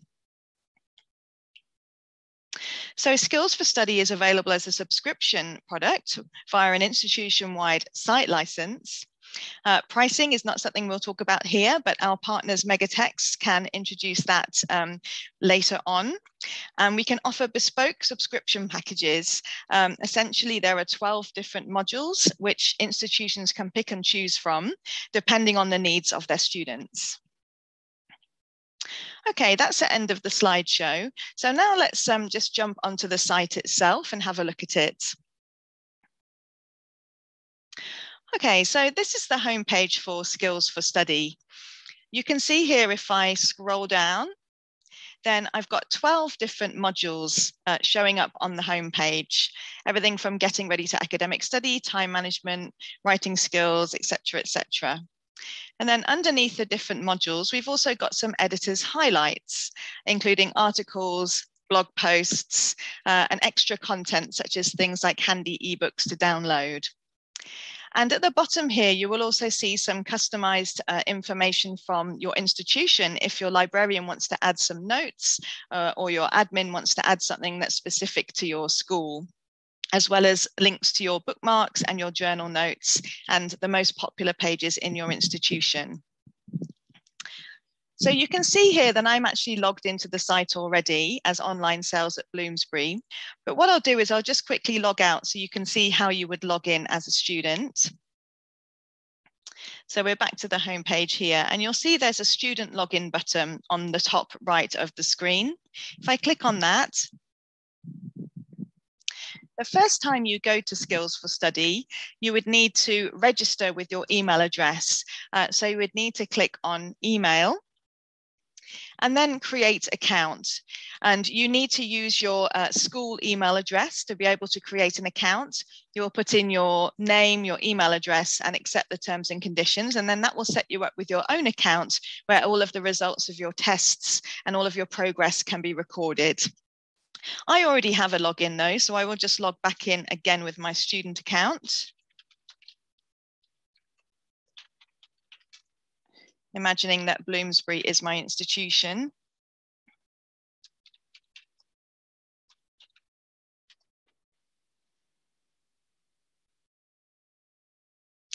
And now we're logged back in. So you can see again, it says logged in as online sales at Bloomsbury. So we've had a quick look at the home page. Um, something else that's very useful to look at initially is the little button here, Introduction to Skills for Study. So if I click on this, this gives me a little overview of how Skills for Study can help me. And it has some reviews. And it also has a handy infographic here, which shows um, essentially what is the, the way the, the, the platform is structured. So first of all, you would choose a skill or module that you want to work on, and then you would take a diagnostic test which has a traffic light system, which I'll show you in a moment. Then you go on to work through all of the different interactive exercises and activities, look at the videos, articles, and blogs, make sure you reflect and make notes along the way. And then finally, you will do your assessment and you'll be able to monitor your progress. So this is how the site kind of works and how it's structured. So let's jump straight into one of the modules. I'm going to use the drop down at the top here. You could also uh, go back to the home page and click on one. But if we use this drop down, this actually gives you a nice overview of how each module is structured and they're all structured in the same way. So I'm going to go straight to writing skills. And you can see here there's a model module introduction, there's a diagnostic test, then there are various different sections to work through, and then finally there's a module assessment. So we'll just jump into the module introduction. So this tells you what uh, this is going to help you with um, and what it's for. And then it asks you to do a diagnostic test. And this is the first thing you do. And this will show you what do you know already and how, how far on you already are with this before you even get started and give you some ideas of what you're going to need to work on. So I'm going to retake it because I've actually done it before. So these were the recommend recommendations that I had last time I did it, but I'm going to retake the test. And what you do here is you work through all of these different statements and then you uh, click on uh, your kind of reaction, as in how much you think you know about each of these things. So, for example, the first one I approach academic writing with confidence. I don't panic or delay starting work. If I strongly agree with that, then I would click strongly agree. If I strongly disagree, and everywhere in between. And so I've already worked through this and clicked on, you know, how I feel about all of these different things. So um, once you've done that, you would then click on finish. And this gives me my little traffic light um, system. And this tells me that, uh, first of all, green means that I already know quite a lot about developing my writing, but it says it's still worth a look. It's still worth having a look through the information on that topic. Um, the amber here means that I don't know very much about these particular topics, so it'd be very useful for me to study more. And if I were to have a red one, which I don't, that would mean it's highly recommended that I um, take a look at this section because there are definitely some gaps in my skills for this topic. So this is your little diagnostic test at the beginning, which you can refer back to later. So once I've done that, I would start to work through the different sections. I'm not going to work through them all here, but you can see I have done some um, parts of these before, and you can see here it shows you the percentage of each section that I've already done. Um, there are various different sections, but I'm going to jump into uh, planning your writing because I want to learn more about that. And this tells me what the section is going to help me with. And then there are all of these different sections. You can see the ones that I've read and completed already, but I haven't got onto these two yet. Um, if I go uh, straight into um, the developing a plan, you can see here, it has lots of little interactive tools that enable me to test my knowledge. So this one is a drag and drop um, kind of uh, tool, and I need to drag the term to its definition. So a process of generating ideas and ways of solving problems. Uh, what's that? Oh, I'm going to call that, I think that's a brainstorm. So I'll drag that here. And then recording information organically, that sounds to me like pattern notes. So I'm going to drag that here and I can check if I'm right, which I am. So I've got that completely right. So all the way that you're working through all of these different sections, you're going to have these little interactive, uh, almost like games, which will make it a bit more fun and enjoyable to work through. So if I go back to the uh, beginning of this module, each module um, also has a practice activity. Uh, so I'm going to click on this one, practice developing a linear plan. And this is um, how to do a plan if I'm working on my first assignment. And again, this is another drag and drop activity um, where I can drag in the relevant terms. Uh, I'm just going to do this very quickly because we're in a bit of a hurry here, but let's say I'm giving this a bit more thought. And okay, and then the last one, whoops, have to scroll down a bit. And let's see if I've got any of those right. Oh dear, I'm not very good at that and I definitely need to try that again. But if I just want to see what the answers are, because this is not um, being assessed, this is just for you to practice with. This is not the actual kind of assessment part. So I can see what the answers are and then I can keep going until I fully understand it.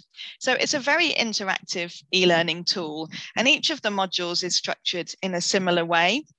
Um, if I just go to the first module, which is getting ready for academic study, I'll also show you an, a different type of um, interactive kind of learning uh, practice um, activity.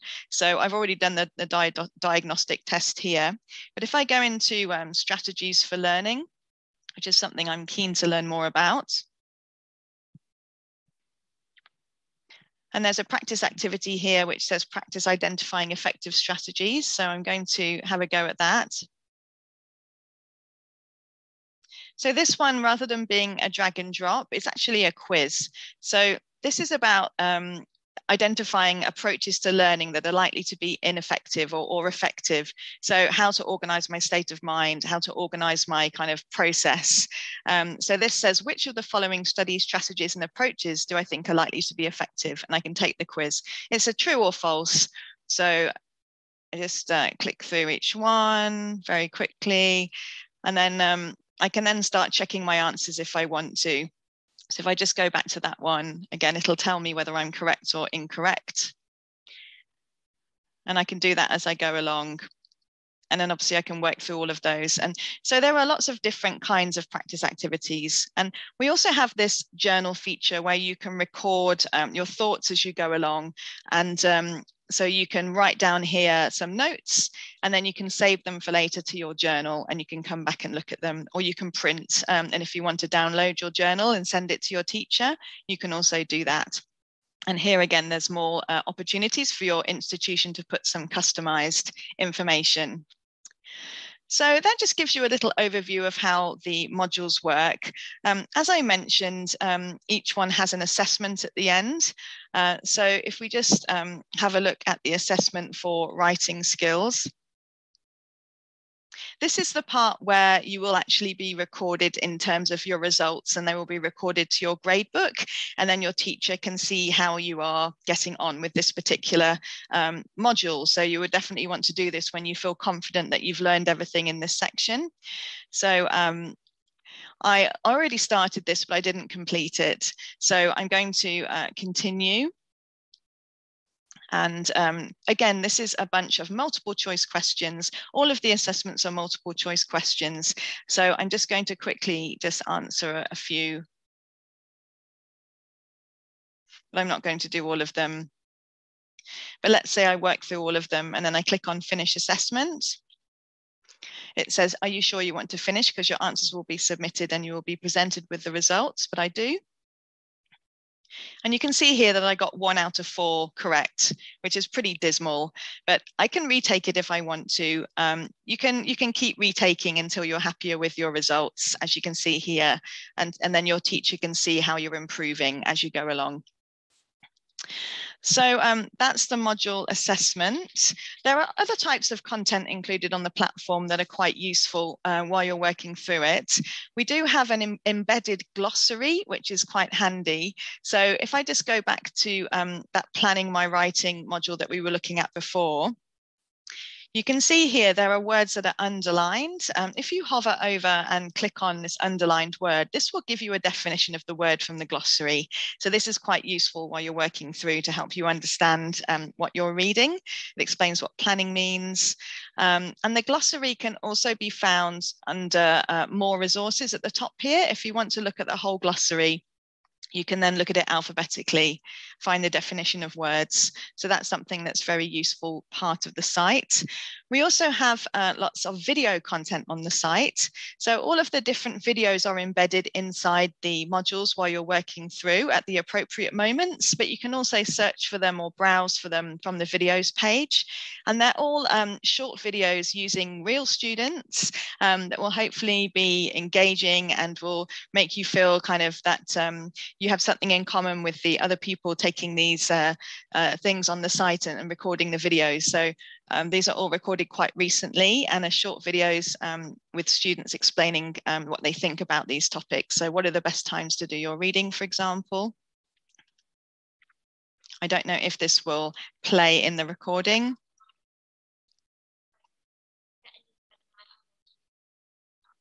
So this is a little interview with two students about um, what they feel about the best time to do their reading. So there is a lot, a wealth of video content on the site. Um, you can filter by the different modules to see which videos are related to each one, or you can browse or search by keyword, that kind of thing. We also have articles um, which are included. I showed you a link to some on the homepage earlier, but you can get to them from here as well. And they're just very useful additional articles that sit outside the modules, but that we add new ones and we update them regularly, which are just something very useful for you to read um, to help with your personal development. This one is about cultivating self-belief. Um, this one's some handy tips for multiple choice questions, uh, how to manage clustered deadlines, reading mindfully, all of this kind of thing. So lots and lots of useful articles. And we also have blog posts, which we do update regularly as well. And it might be helpful for your librarian or your teacher to, um, to send these out on social media, which will uh, encourage yourselves and your fellow students to come and have a look at the site and read the latest blog posts. Okay, so um, I mentioned earlier about how you can add notes to your journal. So if we click on my journal here, you can see here that um, there are a few uh, sections that I have um, I've marked here for my journal to come back to later. So anything you write or add to the journal will be recorded here in your own personal section. We also have bookmarks where you can choose to bookmark um, any particular page, which is something useful for you. For example, if we just go to um, any page on one of the modules, you'll see at the top of the page here, there's an add to journal button and a bookmark page button. So that's all your kind of personal area for where you've recorded those things. And then um, possibly the most important part of the site, here we go, is my progress.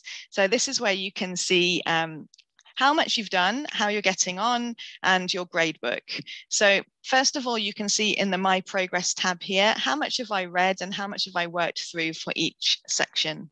So I haven't done anything for some of them, but I've done quite a lot for some of them.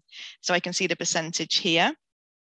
The second tab shows that diagnostic path we mentioned earlier, which um, just gives me a reminder of that little diagnostic test that I did at the beginning. Um, I did the one for getting ready for ac academic study, and it tells me um, I really need to work on developing my skills. And I've also done the one for writing skills, and it shows me which of the sections that I was planning to work on. So that's a reminder of the diagnostic tests that we did at the beginning. And then my gradebook, these are the results of the assessments. So I've only actually done a couple of the assessments here. Um, so the getting ready for academic study, I actually got 90% on that one. Um, but the writing skills absolutely terrible. I only got 4%. So your teacher will be able to access your gradebook to see how you're doing in all of these um, different assessments. Uh, finally, I'd just like to show you the uh, more resources um, downloadable documents section. So there's um, a lot of other useful stuff here as well for you, which you might want to use as you're working through um, during the year. Um, it's possible that you would use different modules at different times of the year. For example, uh, obviously you'd use the exam one when you're coming to revision time and exam time. Um, you use the getting ready one at the beginning to kind of get you all prepared for academic study. And then you might choose to look at other modules throughout your your school year. Um, but while you're doing that, you can also use these very handy downloadable documents. And um, for example, I'm going to go straight to exam skills here. And you can see here there's uh, some really useful um, downloadables, things like uh, something on managing stress, uh, FAQs on revision, um, things like how to examiners mark answers, common revision mistakes. So if you click on any of these, it takes you to a PDF, which hopefully you can see on the screen, which you can save to your computer. And it's like a checklist. Um, so these PDFs are available to you at any time and you can save them personally and they never disappear. Okay, so I think that's all I wanted to show you on skills for study. Now I'm going to switch over to the next um, module, which we're going to look at, which is called uh, Cite Them Right. Now, this is a separate product, which is a, a different e-learning product. And I'm going to show you a few slides just to give you a quick overview of this product.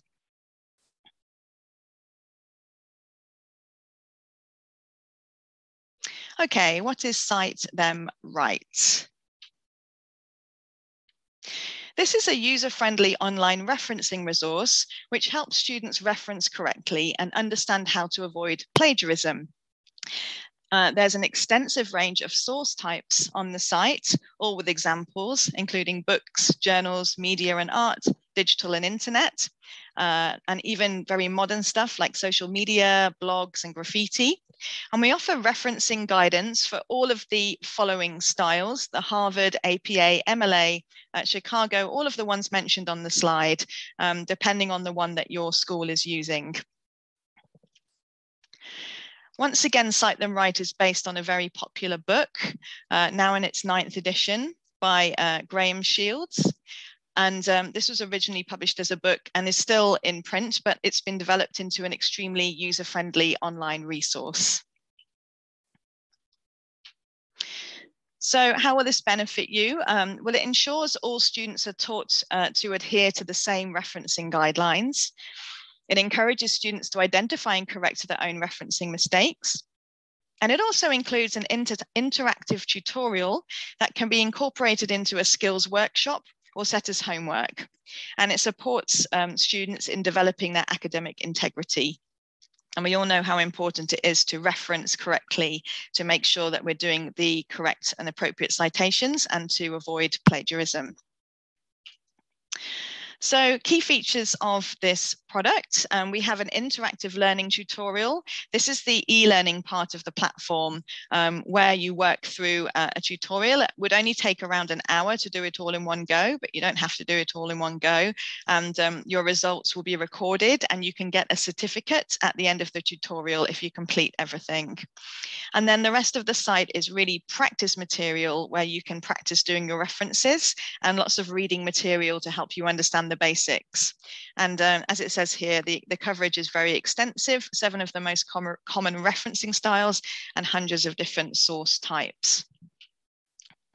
This again is available as a subscription for your school and um, we're available to help you at any time with technical issues very popular uh, with students, Cite Them Right. They really enjoy it and they say uh, it's a great, um, sorry, this is for teachers, of course, who say it's a really great source of information and an excellent tool which has helped students a lot.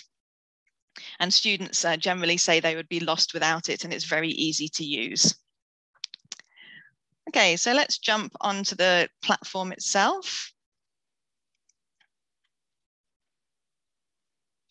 Okay, we'll just switch over to Cite Them Right here. So this is the home page. Now, in terms of getting access to Cite Them Right, it's a little bit different for Skills for Study. There's no uh, student login section for the main site itself. Um, you will be authenticated using the IP range of your school. So once we have the IP range set up, you would see there that access is brought to you by the name of your school. Um, at the moment, I'm authenticated by um, my IP range uh, for Bloomsbury. So that's why I'm automatically logged in into the site. Um, so uh, we're already logged in, we don't need to log in. And you can see here on the home page, we've got um, an About Cite Them Right button, which is a useful place to go to start. And this gives a short description of the platform, what it's all about. There's a video that you can watch here and how to use it. And it suggests that those new to referencing or that could benefit from a refresher go straight to the e-learning tutorial. And that is a really good place to start before you start reading or practicing all of the referencing um, different types is to actually work through the interactive tutorial. So we'll look at that first. Um, but here as well, it explains the background of Cite Them Right, uh, a little bit about the textbook, what's new, that kind of thing. But if we jump straight into the tutorial, you can see here there's a button for tutorial. And this is uh, going to take you to a different um, window once we've uh, accessed it, launch tutorial. And it's essentially a web app and it's highly interactive and really fun to work through. And um, this part you do need a login for. So um, if you haven't registered already for the tutorial, you would click to register and set up your email address. Um, but I'm going to log in with my, uh, my already registered email address. So just bear with me.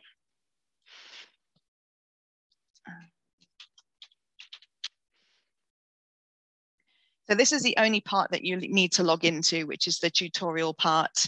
And I'm going to start the tutorial.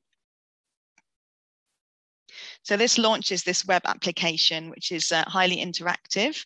And um, if you wanted to work through it all in one go, you might be set it as homework and then asked to provide a certificate. That's fine. But if not, and you're just asked to have a go um, in your own time, you can do it in different sections. Each time you log in, it will remember where you got to last time. And you can see here there are um, all of these 11 different sections and four different assessments that are part of the site. So I'm not going to look at all of them right now, but I'm going to jump straight into um, one of these sections, which is how to set out references.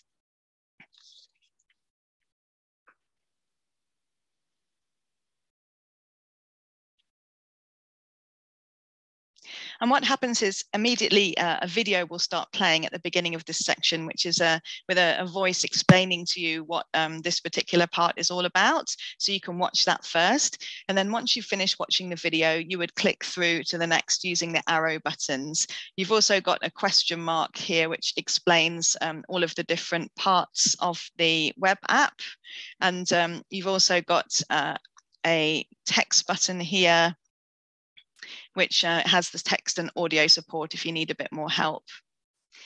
Uh, but we're going to switch straight to the next page. So this gives you your learning objectives for this, for this particular section of the tutorial, and it tells you what you should be able to do by the time you finished it. And then um, you can select the referencing style that you want to learn more about. I'm going to choose Harvard. And then you choose your source type. So if you're going to do the tutorial, it's mandatory to complete the books section. But if you want to complete the journal articles and web pages, art, uh, web pages section as well, those are optional.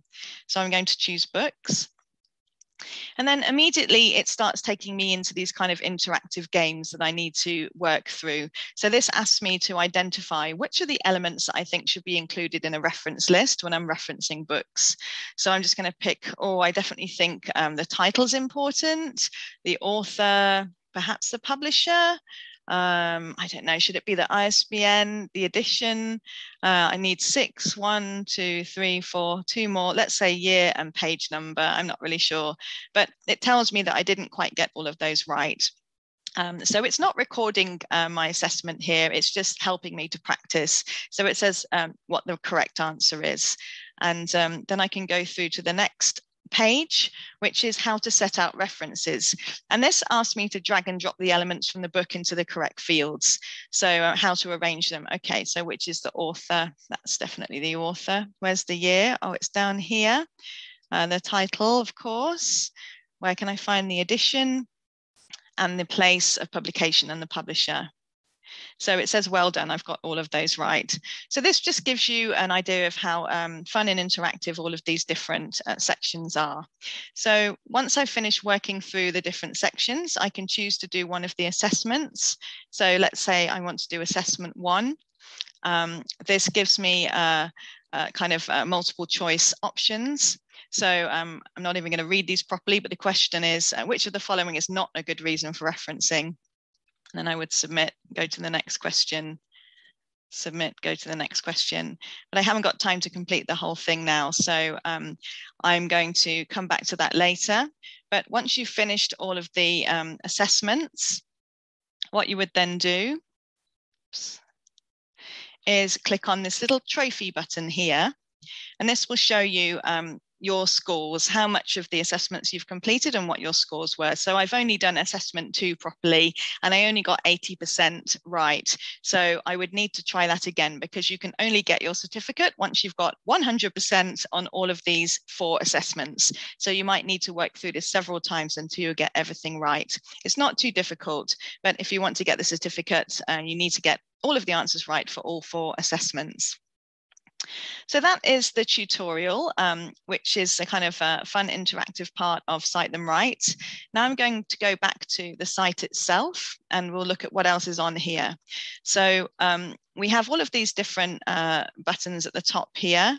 Um, so let's start with basics. Basics gives you a lot of reading material about referencing, and it really covers the same stuff that's in the tutorial, but just in a kind of more um, standard way that you can just read through all of these sections. So in your own time, you can work through all of these basics to give yourself a good overview and understanding of what referencing is all about. And then the rest of these uh, drop downs here are actually the different source types for you to practice with. So let's say I want to do some referencing practice with, with books. So if I click on that, I've then got a choice of the different referencing styles. I'm going to choose Chicago this time. And then I can choose um, what kind of book item that I want to reference. So let's say I need to do um, a citation for um, a, a printed book and it will take me to a page which gives me the guidelines for referencing printed books according to the Chicago referencing style. So which order the citation should be in. And then lots of examples down here. And then I can do some practice. It says you try here. And if I've got a book that I need to reference, then it will tell me exactly what I need to um, put in each part. And I would just type over that.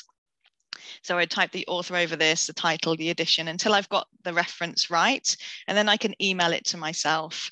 So this is a lot better than just copying and pasting from a citation tool. And this really helps you to learn how to do it because you have to type it in yourself. You have to follow these examples, and it will help you to understand kind of why you're referencing in this way, and it will help you to remember how to do it for next time.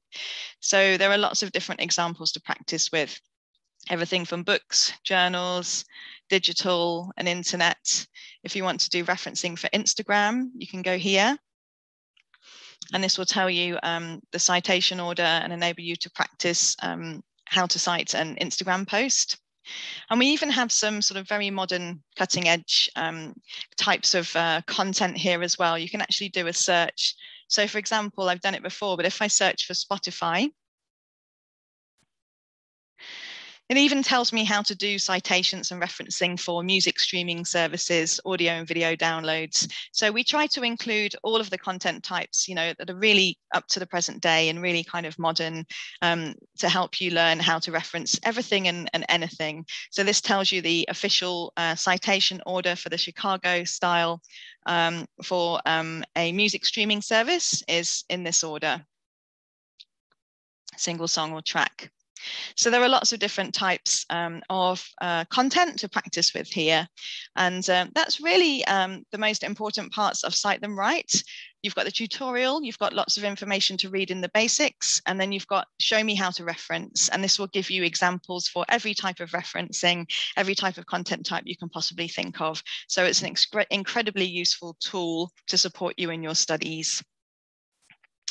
Okay, I think that's um, all I wanted to say. So I hope you've got lots of questions that you'll be able to pose to my partners in the Philippines who are Megatexts, and um, I will be very happy to answer them later. Uh, I hope you enjoy trialing these two particular products, and I'd like to thank you again for joining this session and uh, enjoy the rest of your weekend. Thank you very much.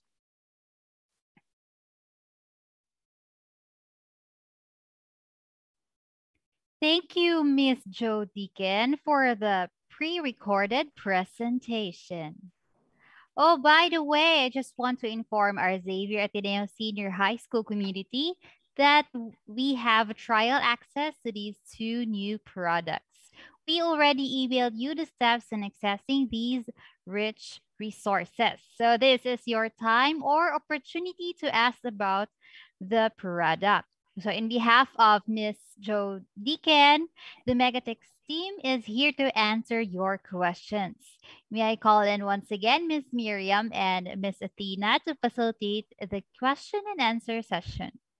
Please feel free to type in your questions in the Zoom chat box. And to our FB live viewers, you may also type in your questions in the comment section below.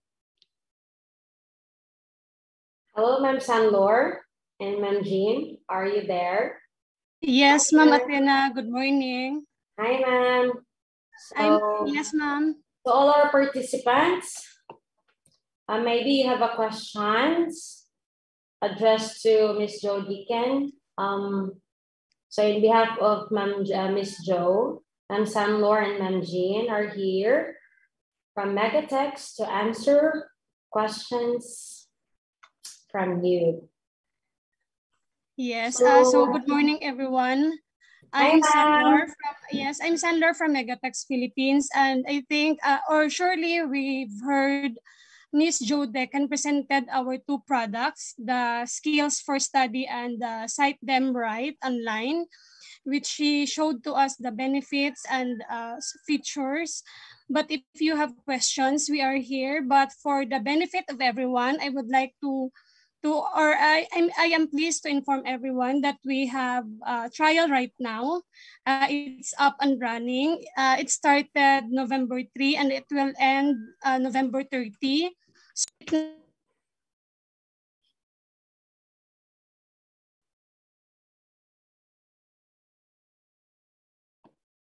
Ma'am, you're muted po. Ma'am Sandor. Uh, yes, so uh, once again, uh, I, good morning, everyone. So I'm sorry, I, I forgot that I was muted. So uh, as I've uh, as I've mentioned a while ago, uh, I'm here and I think or surely uh, the presentation is of Miss Jo Dickens uh, is clear with regards to our two products, the skills for study and the Cite uh, them right online, wherein she presented the benefits and the features of these products.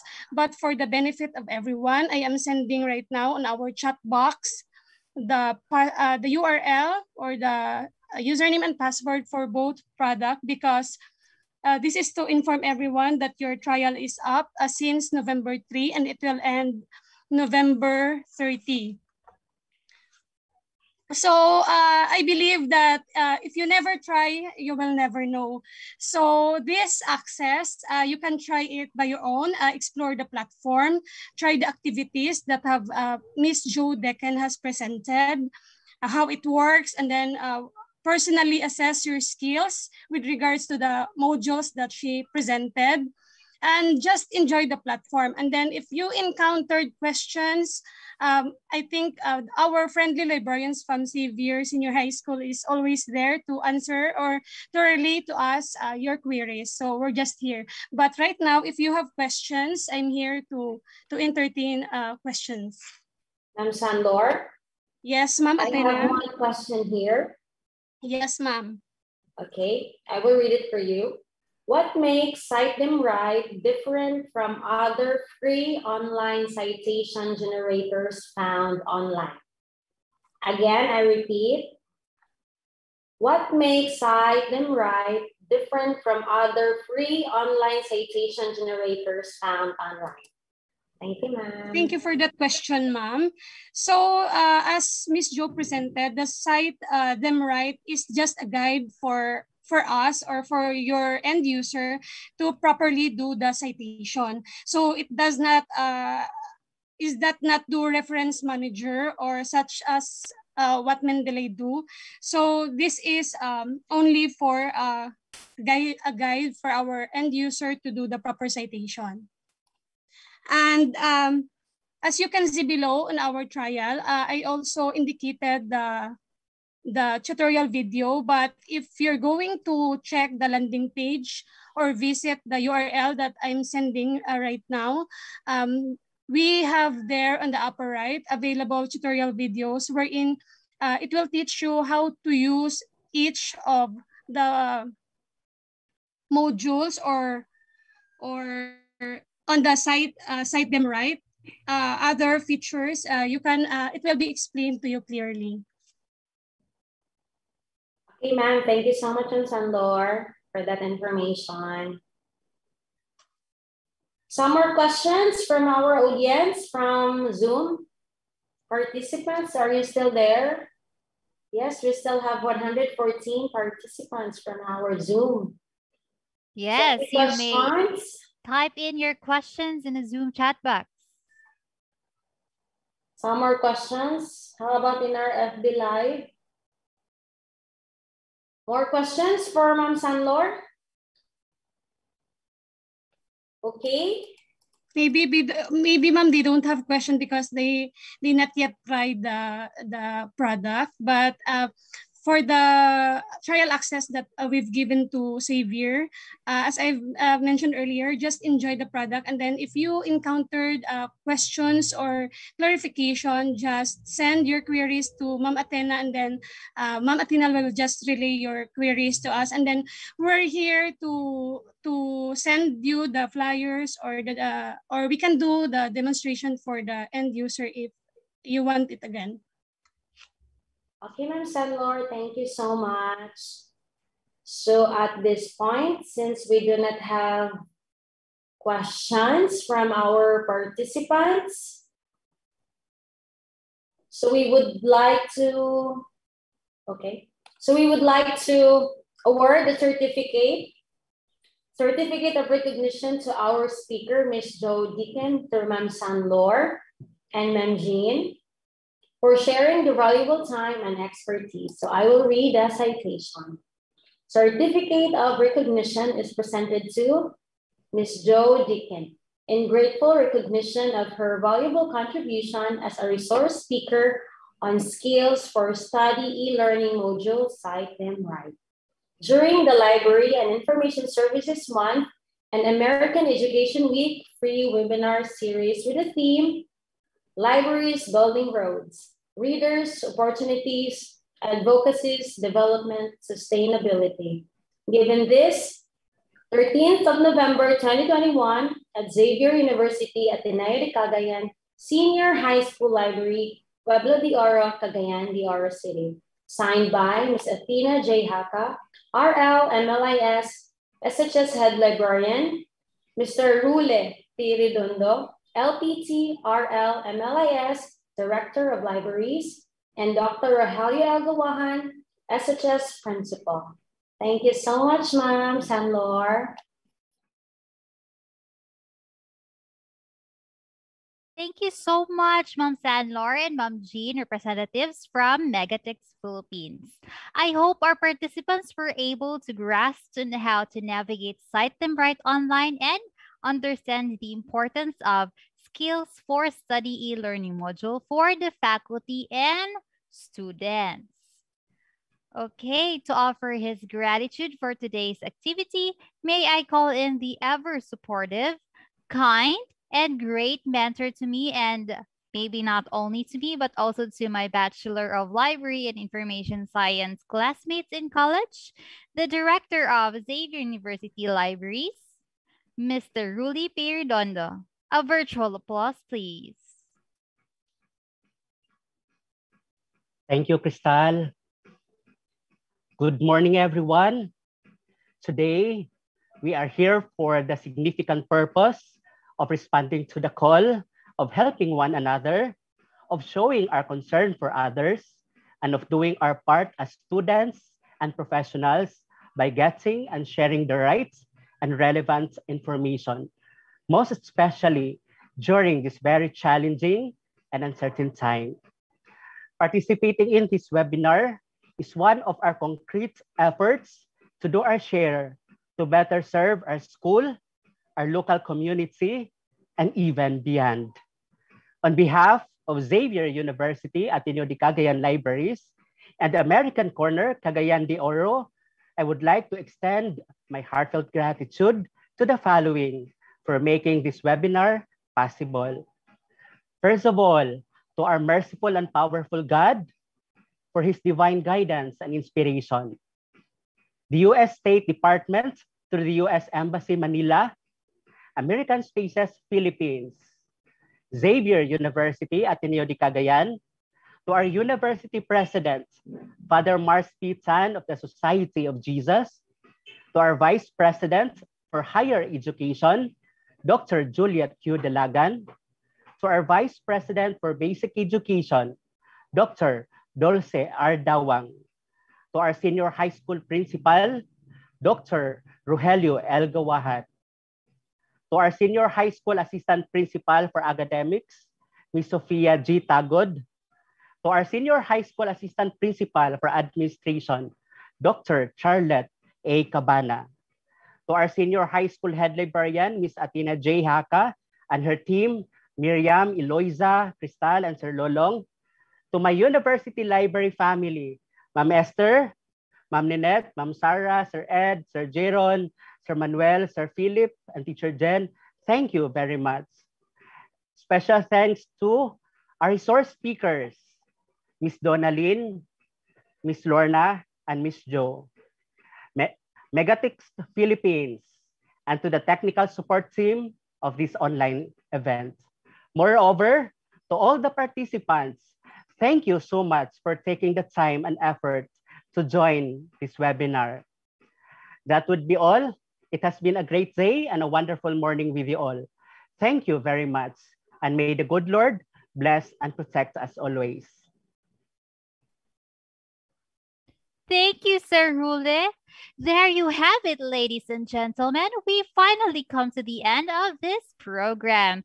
Thank you so much to all the speakers and participants for supporting us in making this activity a successful one. Please don't forget to answer our evaluation form and the evaluation link is posted in our FB comment section and Zoom chat box. Today's webinar is indeed a great chance to empower and expand our knowledge and skills. Brian Herbert, an American author, once said, the capacity to learn is a gift, the ability to learn is a skill, the willingness to learn is a choice. This has been your host, Miss Crystal Gable Morris. Have a great weekend. Adios.